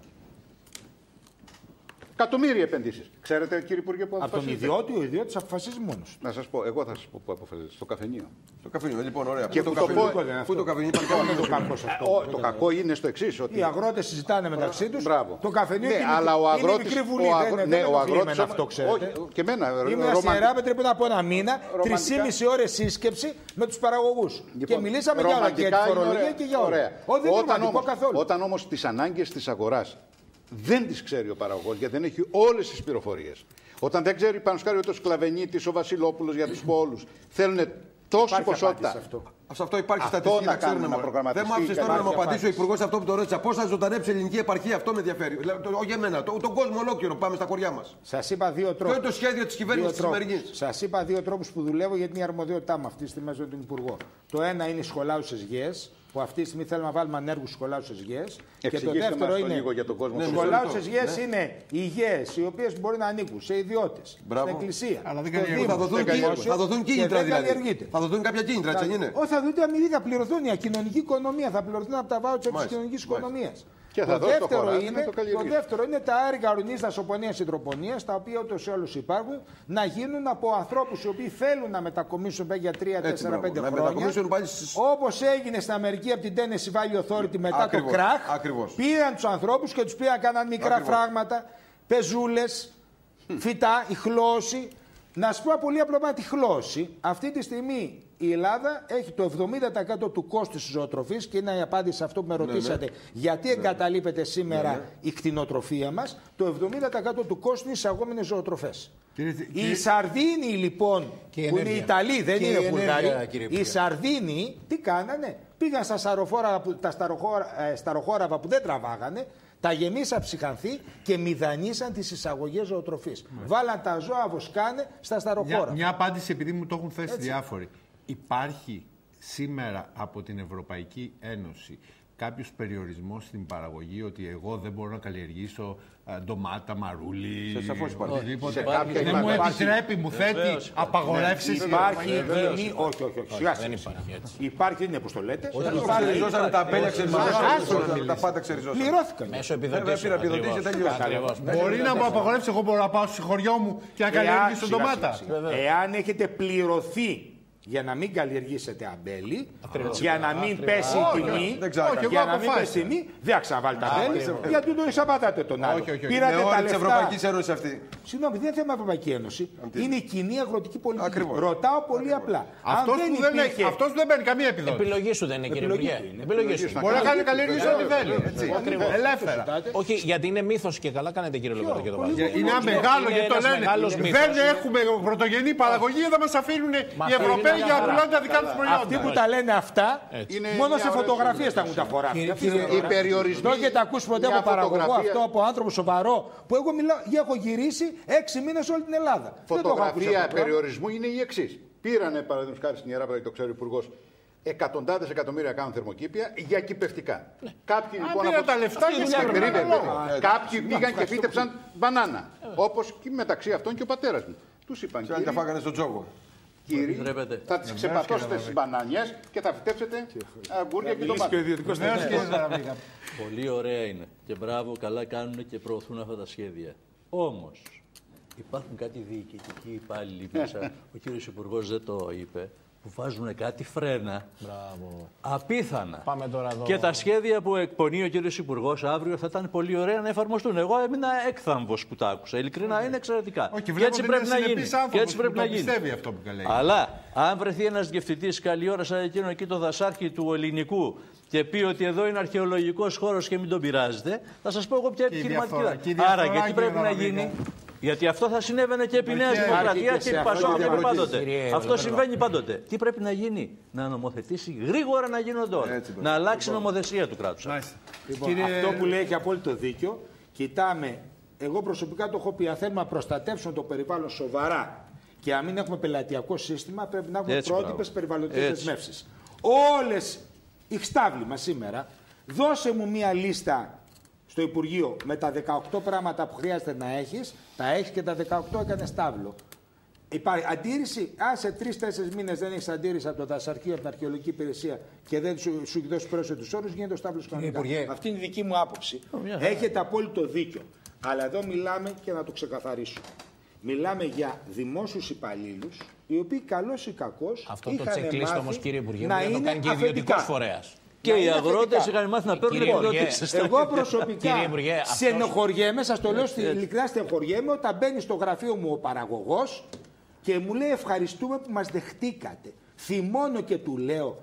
Είναι υποχρέωσή μου να σας δέχομαι. κύριε Δεν Υπουργέ. θα ξέρω, πείτε ευχαριστούμε που μας δεχτήκατε. Τι είμαι το αφεντικό σας είμαι. Να, Υπήρχε αυτή η νοοτροπία, το ξέρετε, Υπάλληλός ότι το ο σύστημα. δημάσιο υπάλληλος Βεβαίως, ήταν αρχιδερβμένο. Πάμε λοιπόν. Συμφωνώ- Επειδή συμφωνώ λοιπόν σε είναι αυτό. κακή νοοτροπία, Κύριε, σιγά κύριε, κύριε σιγά Υπουργέ, την εγώ αλλάζουμε. λοιπόν λέω αυτό το checklist που πολύ ορθά περιγράψατε. Γιατί έτσι δουλεύουν τα πράγματα, όχι μόνο στην αγροτική οικονομία και παντού. Παντού. Γιατί δεν μπορεί να το κάνει ο ιδιωτικός φορέας αυτό, ιδιωτικός φορέας πιστοποίηση όλων αυτών; Γιατί και πάλι Γιατί υπάρχουν είναι τα πάρα- παραθυράκια. Όχι, όχι, Πα- όχι, όχι, όχι, πάμε, δεν είναι πάμε. αυτό. Καταρχάς, Να δούμε δεν κατά πόσο- κατά δεν πόσο είμαστε χρειάζεται να το έτοιμοι να κάνει. κάνουμε- Τις πρότυπε περιβαλλοντικές δεσμεύσεις δεν χρειάζεται να κάνει κανένας φορές. Είναι αυτόματες. Αυτόματες. Μάλιστα. Ξέρω εγώ ότι αν σε αυτή την περιοχή πρέπει να φτιάξω ένα στάβλο, χρειάζονται να έχω η στέγη, επειδή είμαι κοντά στη Βεργίνα, η Βεργίνα πρέπει να είναι έτσι, να είναι αυτό το ύψος. Τα απόβλητά μου πηγαίνουν εκεί γιατί είμαι κοντά σε ποτάμι, γιατί είμαι μέσα σε πόλη κτλ. Αφού λοιπόν Άρα μου παίρνεις δώσεις εσύ τους την ευθύνη. όρους, εγώ το κάνω Πολύ κατευθείαν. Ωραία. Πηγαίνω και δηλώνω ότι αυτό έκαμε τις φωτογραφίες ηλεκτρονικές και αυτά, και αν με πιάσουν να λέω ψέματα, με σκίζουν.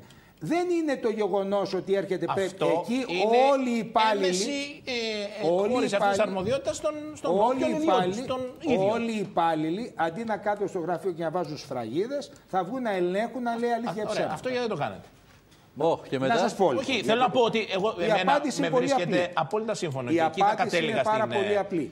Στην, ε, Δούλεψα τοποθέτησή πολύ μου. σκληρά με τις υπηρεσίες στο προηγούμενο Υπουργείο που είμαστε στις περιβα- στο Υπουργείο Περιβάλλοντος, γιατί εκεί ανήκει αυτό το θέμα, να τα κάνουμε όλα από να κάνουμε πρότυπες περιβαλλοντικές. Η απάντηση είναι ότι για να γίνουν οι πρότυπες περιβαλλοντικές, τις υπηρεσίες, αυτό που είπε για τις υπηρεσίες.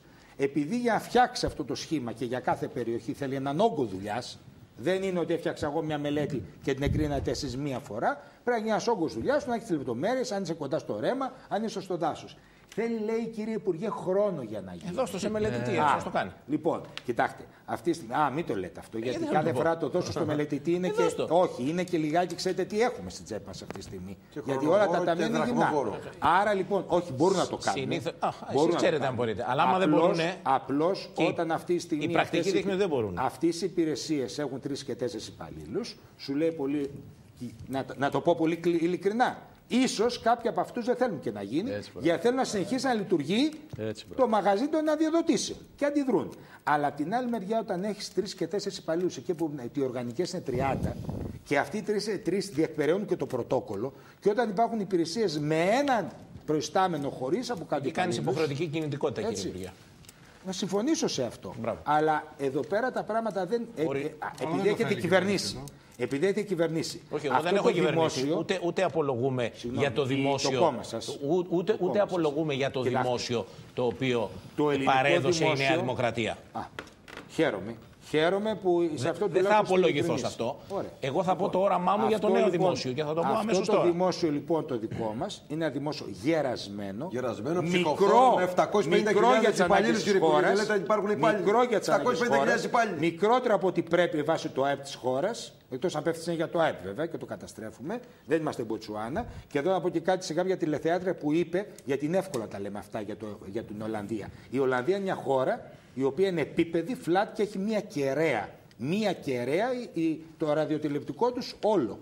Εμείς έχουμε 2.000 κυρίε και έχουμε πλήρη κάλυψη. Εάν εσείς με 150 βουλευτές μπορείτε να εξασφαλίσετε ότι θα εκπροσωπείτε το Καστελόριζο στη Βουλή. Αλλά αυτό είναι λαϊκισμό όλοι και πρέπει να το πει, να πει ένα ότι φρένο λαϊκισμός. σε όλους. Δεν κατανοήσουμε ότι αν θέλουμε. Εμένα δεν πειράζει Β' Αθήνας να μην έχει 45 βουλευτές και να έχει και 30. Αλλά θα με ενοχλούσε πάρα πολύ να χαθούν όλες αυτές. Και λυπάμαι που υπάρχουν περιφέρειες που έχουν τόσο μικρή πολυστελέχωση γιατί καταργείται εξαρτητική Πάντε, δημοκρατία. πάντε σε θέματα συνταγματικής Ναι, ναι, αναθεώρησης. αυτά- Εγώ μπράβο, απλώς θέλω να πω δυστυχώς δύο είναι- πράγματα. Να τα λέμε. κύριε Το Υπουργέ. ίδιο ισχύει για το δημόσιο; Ελάχιστα. Τώρα, Εάν αυτό που είπε θέλουμε, πριν για να μην εάν βγούμε θέλουμε από- λοιπόν Ένα αυτή μικρό τη στιγμή παράδειγμα εκεί. να μην έχουμε ελληνοποιήσεις, αν θέλουμε Μην να το μην έχουμε κάνετε αυτό, κύριε ελληνοποιήσεις, Υπουργέ. Βγαίνουμε. πάμε Θα αλλού. μπούμε σε Λοιπόν, πολιτική πάλι όχι, αντιπαράθεση. όχι, όχι, όχι, Μην πούμε και Και δεν θα έχουμε μπούμε κανένα από την χρόνο. ιστορία. Και να δεν έχουμε συμφωνήσουμε χρόνο. ότι θα με μπορούμε- 14 Μακάρι επιπτώσεις να μπορούσαμε να περιβάλλοντος κάνουμε περισσότερο. δεν μπορώ να προστατεύσω αυτή τη στιγμή από την αυθαιρεσία. Να με σας πω κάτι. 20-30 Εκεί θα επιθεωρητές έπηγαινα. δεν μπορώ να πιάσω τον απαταιώνα που δίνει λευκό τυρί για φέτα. Λοιπόν, Να μισό το λεπτάκι, πούμε. μισό λεπτάκι. Στην οικοδομή, επειδή το ζήσατε,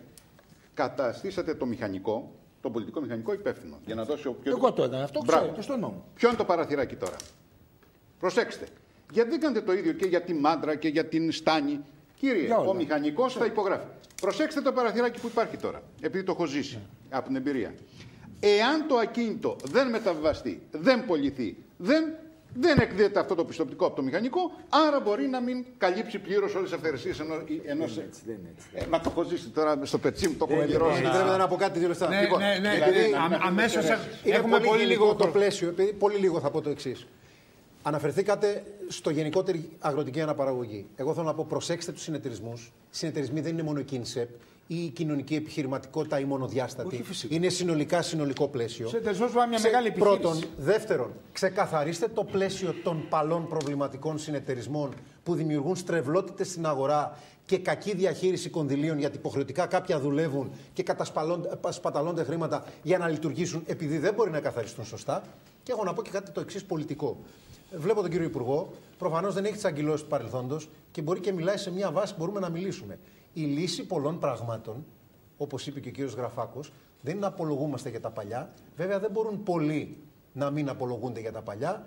Πρέπει να περάσουμε σε μια νέα προσέγγιση νέων ανθρώπων, νέας πολιτικής, για να μπορούμε Και όλοι να νοοτροπίας συζητάμε. γενικότερα. Και μιας νοοτροπίας γενικότερα. Και χαίρομαι που τουλάχιστον έχω ένα συνομιλητή σήμερα απέναντί μου που μπορώ σε αυτό το, τη βάση να θεωρήσω είναι ότι υπάρχει όντως κάποιος πολύ, είναι Έτσι. όντως πολύ ψηλό το επίπεδο των Εγώ θέλω να πω το συνομιλητών εξής σήμερα. Ναι, και κύριε θα Ραφάκο. το κρατήσουμε σε αυτό γιατί είπαμε, ξεκινήσαμε το με, χαλάσουμε με στο τη τέλος, φανέλα της Εθνικής Ελλάδος. Έτσι, μπράβο. Μόνο τη ΣΑΕΚ μπορούμε να βάλουμε. Τη ΣΑΕΚ θα Έχασε- βάλουμε. έχασε η Ισραήλ, ΑΕΚ. Ισραήλ, Ισραήλ, Ισραήλ, Ισραήλ. Παναθηναϊκός. Τι να του κάνουμε, εμείς θέλουμε που είναι Ε, Παναθηναϊκός. Εθνική Ελλάδος και έχει, τίποτα άλλο. έχει Έτσι. σημασία, Εθνική ε, Ελλάδα. ε, έχει σημασία να δούμε, το είπε ο κ. Στρατάκης, πού θα κινηθούμε. Ε, αυτό είναι το βασικό. Ε, εδώ νομίζω ότι μπορούμε να συμφωνήσουμε με όλες αυτές τις περιπέτειες που περάσαμε ότι ε, θα κινηθούμε στον χώρο ο οποίος λέγεται Ευρωπαϊκή Ένωση. Με αυτούς τους κανόνες δεν μπορούμε να τους αλλάξουμε, δεν μπορούμε να αλλάζουμε νομίσματα, δεν μπορούμε να, να, να παίζουμε, δεν μπορούμε να λέμε. Ε, γιατί υπόθηκαν αυτά από χείλη πολιτικών ε, από όλες τις πτέρυγες ε, τοκογλύφους αυτούς οι οποίοι, οι οποίοι μας δανείζουν με, με, με 1%. αυτοί οι τοκογλύφοι, ε, διότι, δάκρυνα. διότι, δεν είναι διότι, τα καλύτερα διότι παιδιά και εδώ κάνετε δημιουργούμε. και για- Διότι, κύριε Στρατάκη, για σας για να ρωτάω. συγχωρεθούν τα διότι πεθαμένα τους. δημιουργούμε Εντάξει. μια στρεβλή εικόνα των δικών μας ευθυνών. Θα πρέπει να γυρίσουμε πίσω και να δούμε τα αίτια που φτάσαμε εδώ. Τα αίτια που φτάσαμε εδώ υπόθηκαν στο τραπέζι, ε, τα- τα λέω με μια κουβέντα. Είναι ο κρατισμός. Είναι αυτό το κράτος το πελατειακό που εκμάβλησε τους πάντες. Είναι το κράτος το οποίο έστελνε τον Πενιντάρη στη σύνταξη με δανεικά. Είναι το κράτος το οποίο δημιουργούσε Και γέμιζε τα συνεταιρισμού γραφεία με- με με την ρουσφέτια και λογική διορισμούς. που περιγράψατε. Είναι το κράτος το οποίο δημιούργησε μια στρεβλή επιχειρηματικότητα, διότι πολλοί επιχειρηματίες δεν επένδυσαν στην καινοτομία και στην ποιότητα, διότι βολευόντουσαν με τις κρατικές δαπάνες. Αυτό το πράγμα, συγγνώμη για την έκφραση, πρέπει να το ξεριζώσουμε. Οι περισσότεροι δεν επένδυσαν, το ξέρετε. Ναι, ναι, ναι. ναι. Οι επιχειρηματίες το έβαλαν είναι- ένα ευρώ είναι- από την τσέπη Είναι τους. το Τους μιλάει κράτο. πολύ Μα ανοιχτά, το είπα έτσι. εγώ. Σας λέω, την, συν- η επιχειρηματική κοινότητα έχει και αυτή την ευθύνη της. Διότι βολεύτηκε γύρω από αυτό τον κρατισμό. Συνα, συ- ε, υπήρξε Έτσι, συναλλαγή μπράβο, μαζί του. συναλλαγή, μπράβο. έτσι, ε, κλασική συναλλαγή. Διαπλοκή. Πολύ σωστά. Μην τα λέμε. Πελατειακές Αυτή είναι σχέσεις, πελατειακέ διαπλοκή σχέσεις. και Ένα ρωσφετολογία. τραπεζικό σύστημα το οποίο ε, κινείται με βάση τις ε, βουλές του πολιτικού συστήματος και χρηματοδοτούσε και έδινε δάνειο όπως έδινε. Λοιπόν, αυτά υπήρχαν. Αυτό πρέπει να το ξεριζώσουμε. Αυτό πρέπει να το ξεριζώσουμε, διότι ξεριζώνοντας αυτό θα περάσουμε σε μια άλλη νοοτροπία, όπου εκεί ξέρετε, Νομίζω ότι χωράνε άνθρωποι και από τη φιλελεύθερη παράταξη και από την κεντρώα παράταξη και από ανθρώπους που βρίσκονται σήμερα στους παρυφές του ΣΥΡΙΖΑ. Και με, με αυτή την Μα έχει πολιτική θα αλλάξει μπορούμε να αλλάξουμε η την νοοτροπία Ελλάδα. του ΣΥΡΙΖΑ πλέον. Δεν είναι μπορούμε ο- μπορούμε Μα να κύριε, αφήνουν τα αλλάξουμε, παράξια να αυτό που αλλάξουμε λέει, τα αφήνουν την τα παράξια Ελλάδα. από μέσα από την- Η Ελλάδα, η απάντηση την στους κοινωνία. Πελάτε θα έχει υψηλότερους μισθούς, υψηλότερες απολαυές, υψηλότερες συντάξεις με έναν και μόνο προαπαιτούμενο. Την αύξηση των ιδιωτικών επενδύσεων. Πρέπει να κάνουμε ό,τι μπορούμε για να έρθουν αυτές. από Και εκεί για να οι έρθουν αντιφόροι. πρέπει να ξεριζώσουμε τον κρατισμό ως νοοτροπία και ως πρακτική. Μάλιστα. Επειδή το ερώτημα με τους αγρότες, Δεν με έ- τη δεν φορολογία. έχουμε άλλο με- χρόνο, ένα λεπτό. Γιάννη. Τι θα γίνει με τους αγρότες; Ξαναλέω. 45%. Ξαναλέω, δεν είναι 45%. Πόσο είναι, κύριε Υπουργέ, συγγνώμη, Το μπορεί να- 90% των αγροτών μας φέτος θα πληρώσουν πολύ λιγότερη φορολογία από ό,τι με το παλιό καθεστώς. Προκαταβολή φόρου- προκαταβολή φόρους θα πληρώσουν, συν, ε, κύριε Υπουργέ. φόρο συν ασφάλιστα. Συν ασφάλιστα. Όλο το συνολικό κόστος είναι χαμηλότερο για το 90%. Μία κατηγορία αργοτών είναι αδικημένη πραγματικά. Μπορώ να την πω αυτή ποια είναι. Δεν είναι αυτοί που βγάζουν 80 χιλιάρικα και πραγματικά γιατί αυτοί δεν πειράζει, ας πληρώσουν κάτι παραπάνω τώρα που πονάμε. Ποια είναι; Εκείνη η κατηγορία είναι αυτός ο οποίος είναι πέντε οικογένειες σε ένα φυσικό πρόσωπο, γιατί έτσι το είχαν μάθει. Είναι στο γέροντα ο οποίο είχε ένα, Ναι, ένα ναι, αφημί σωστά, και οι άλλοι δεν είχαν. πληρώνουν Ενώ κι άμα. δουλεύουν 5-6 οικογένειε σε μία μονάδα, σε απτοτροφία. Εμφανίζεται αυτό ο κακομοίρη ότι βγάζει 60 χιλιάρικα, ενώ στην πράξη είναι 6 οικογένειε από 10 χιλιάρικα. Προβλέπετε να μειωθεί ο φόρος, κύριε Υπουργέ? Εκεί προβλέψαμε να μπορεί, όχι να μειωθεί ο φόρο, να μπορεί να πάρει με εργόσιμο του άλλου, ώστε να εμφανιστούν και οι άλλε οικογένειε ότι Κύριε δουλεύουν. Κανελάκη, μην Προκαταβολή μην φόρου. τρολάρετε τον Σας Υπουργό. ευχαριστώ Μην πολύ, τρολάρετε τον βέβαια. Υπουργό. Σας Η ευχαριστώ. προκαταβολή φόρου είναι υψηλή το 100%. Πιστεύω μόλις φύγουμε από αυτή τη δαγκάνα Ναι. να μπορέσει να μειωθεί αυτό το πράγμα να Σας ανασάνει. ευχαριστώ πάρα πολύ καλά. όλους. Νομίζω πήραμε αρκετές απαντήσεις Πολύ για ωραία, πολλά ναι, ζητήματα. Κάνουμε μια ψηλού επίπεδου συζήτηση. Και θα τα πούμε πάλι αύριο το μεσημέρι στις 2 με το ραντεβού στην επικαιρότητα και αύριο το βράδυ στις 10 με τη φωνή του λαού. Να είστε καλά.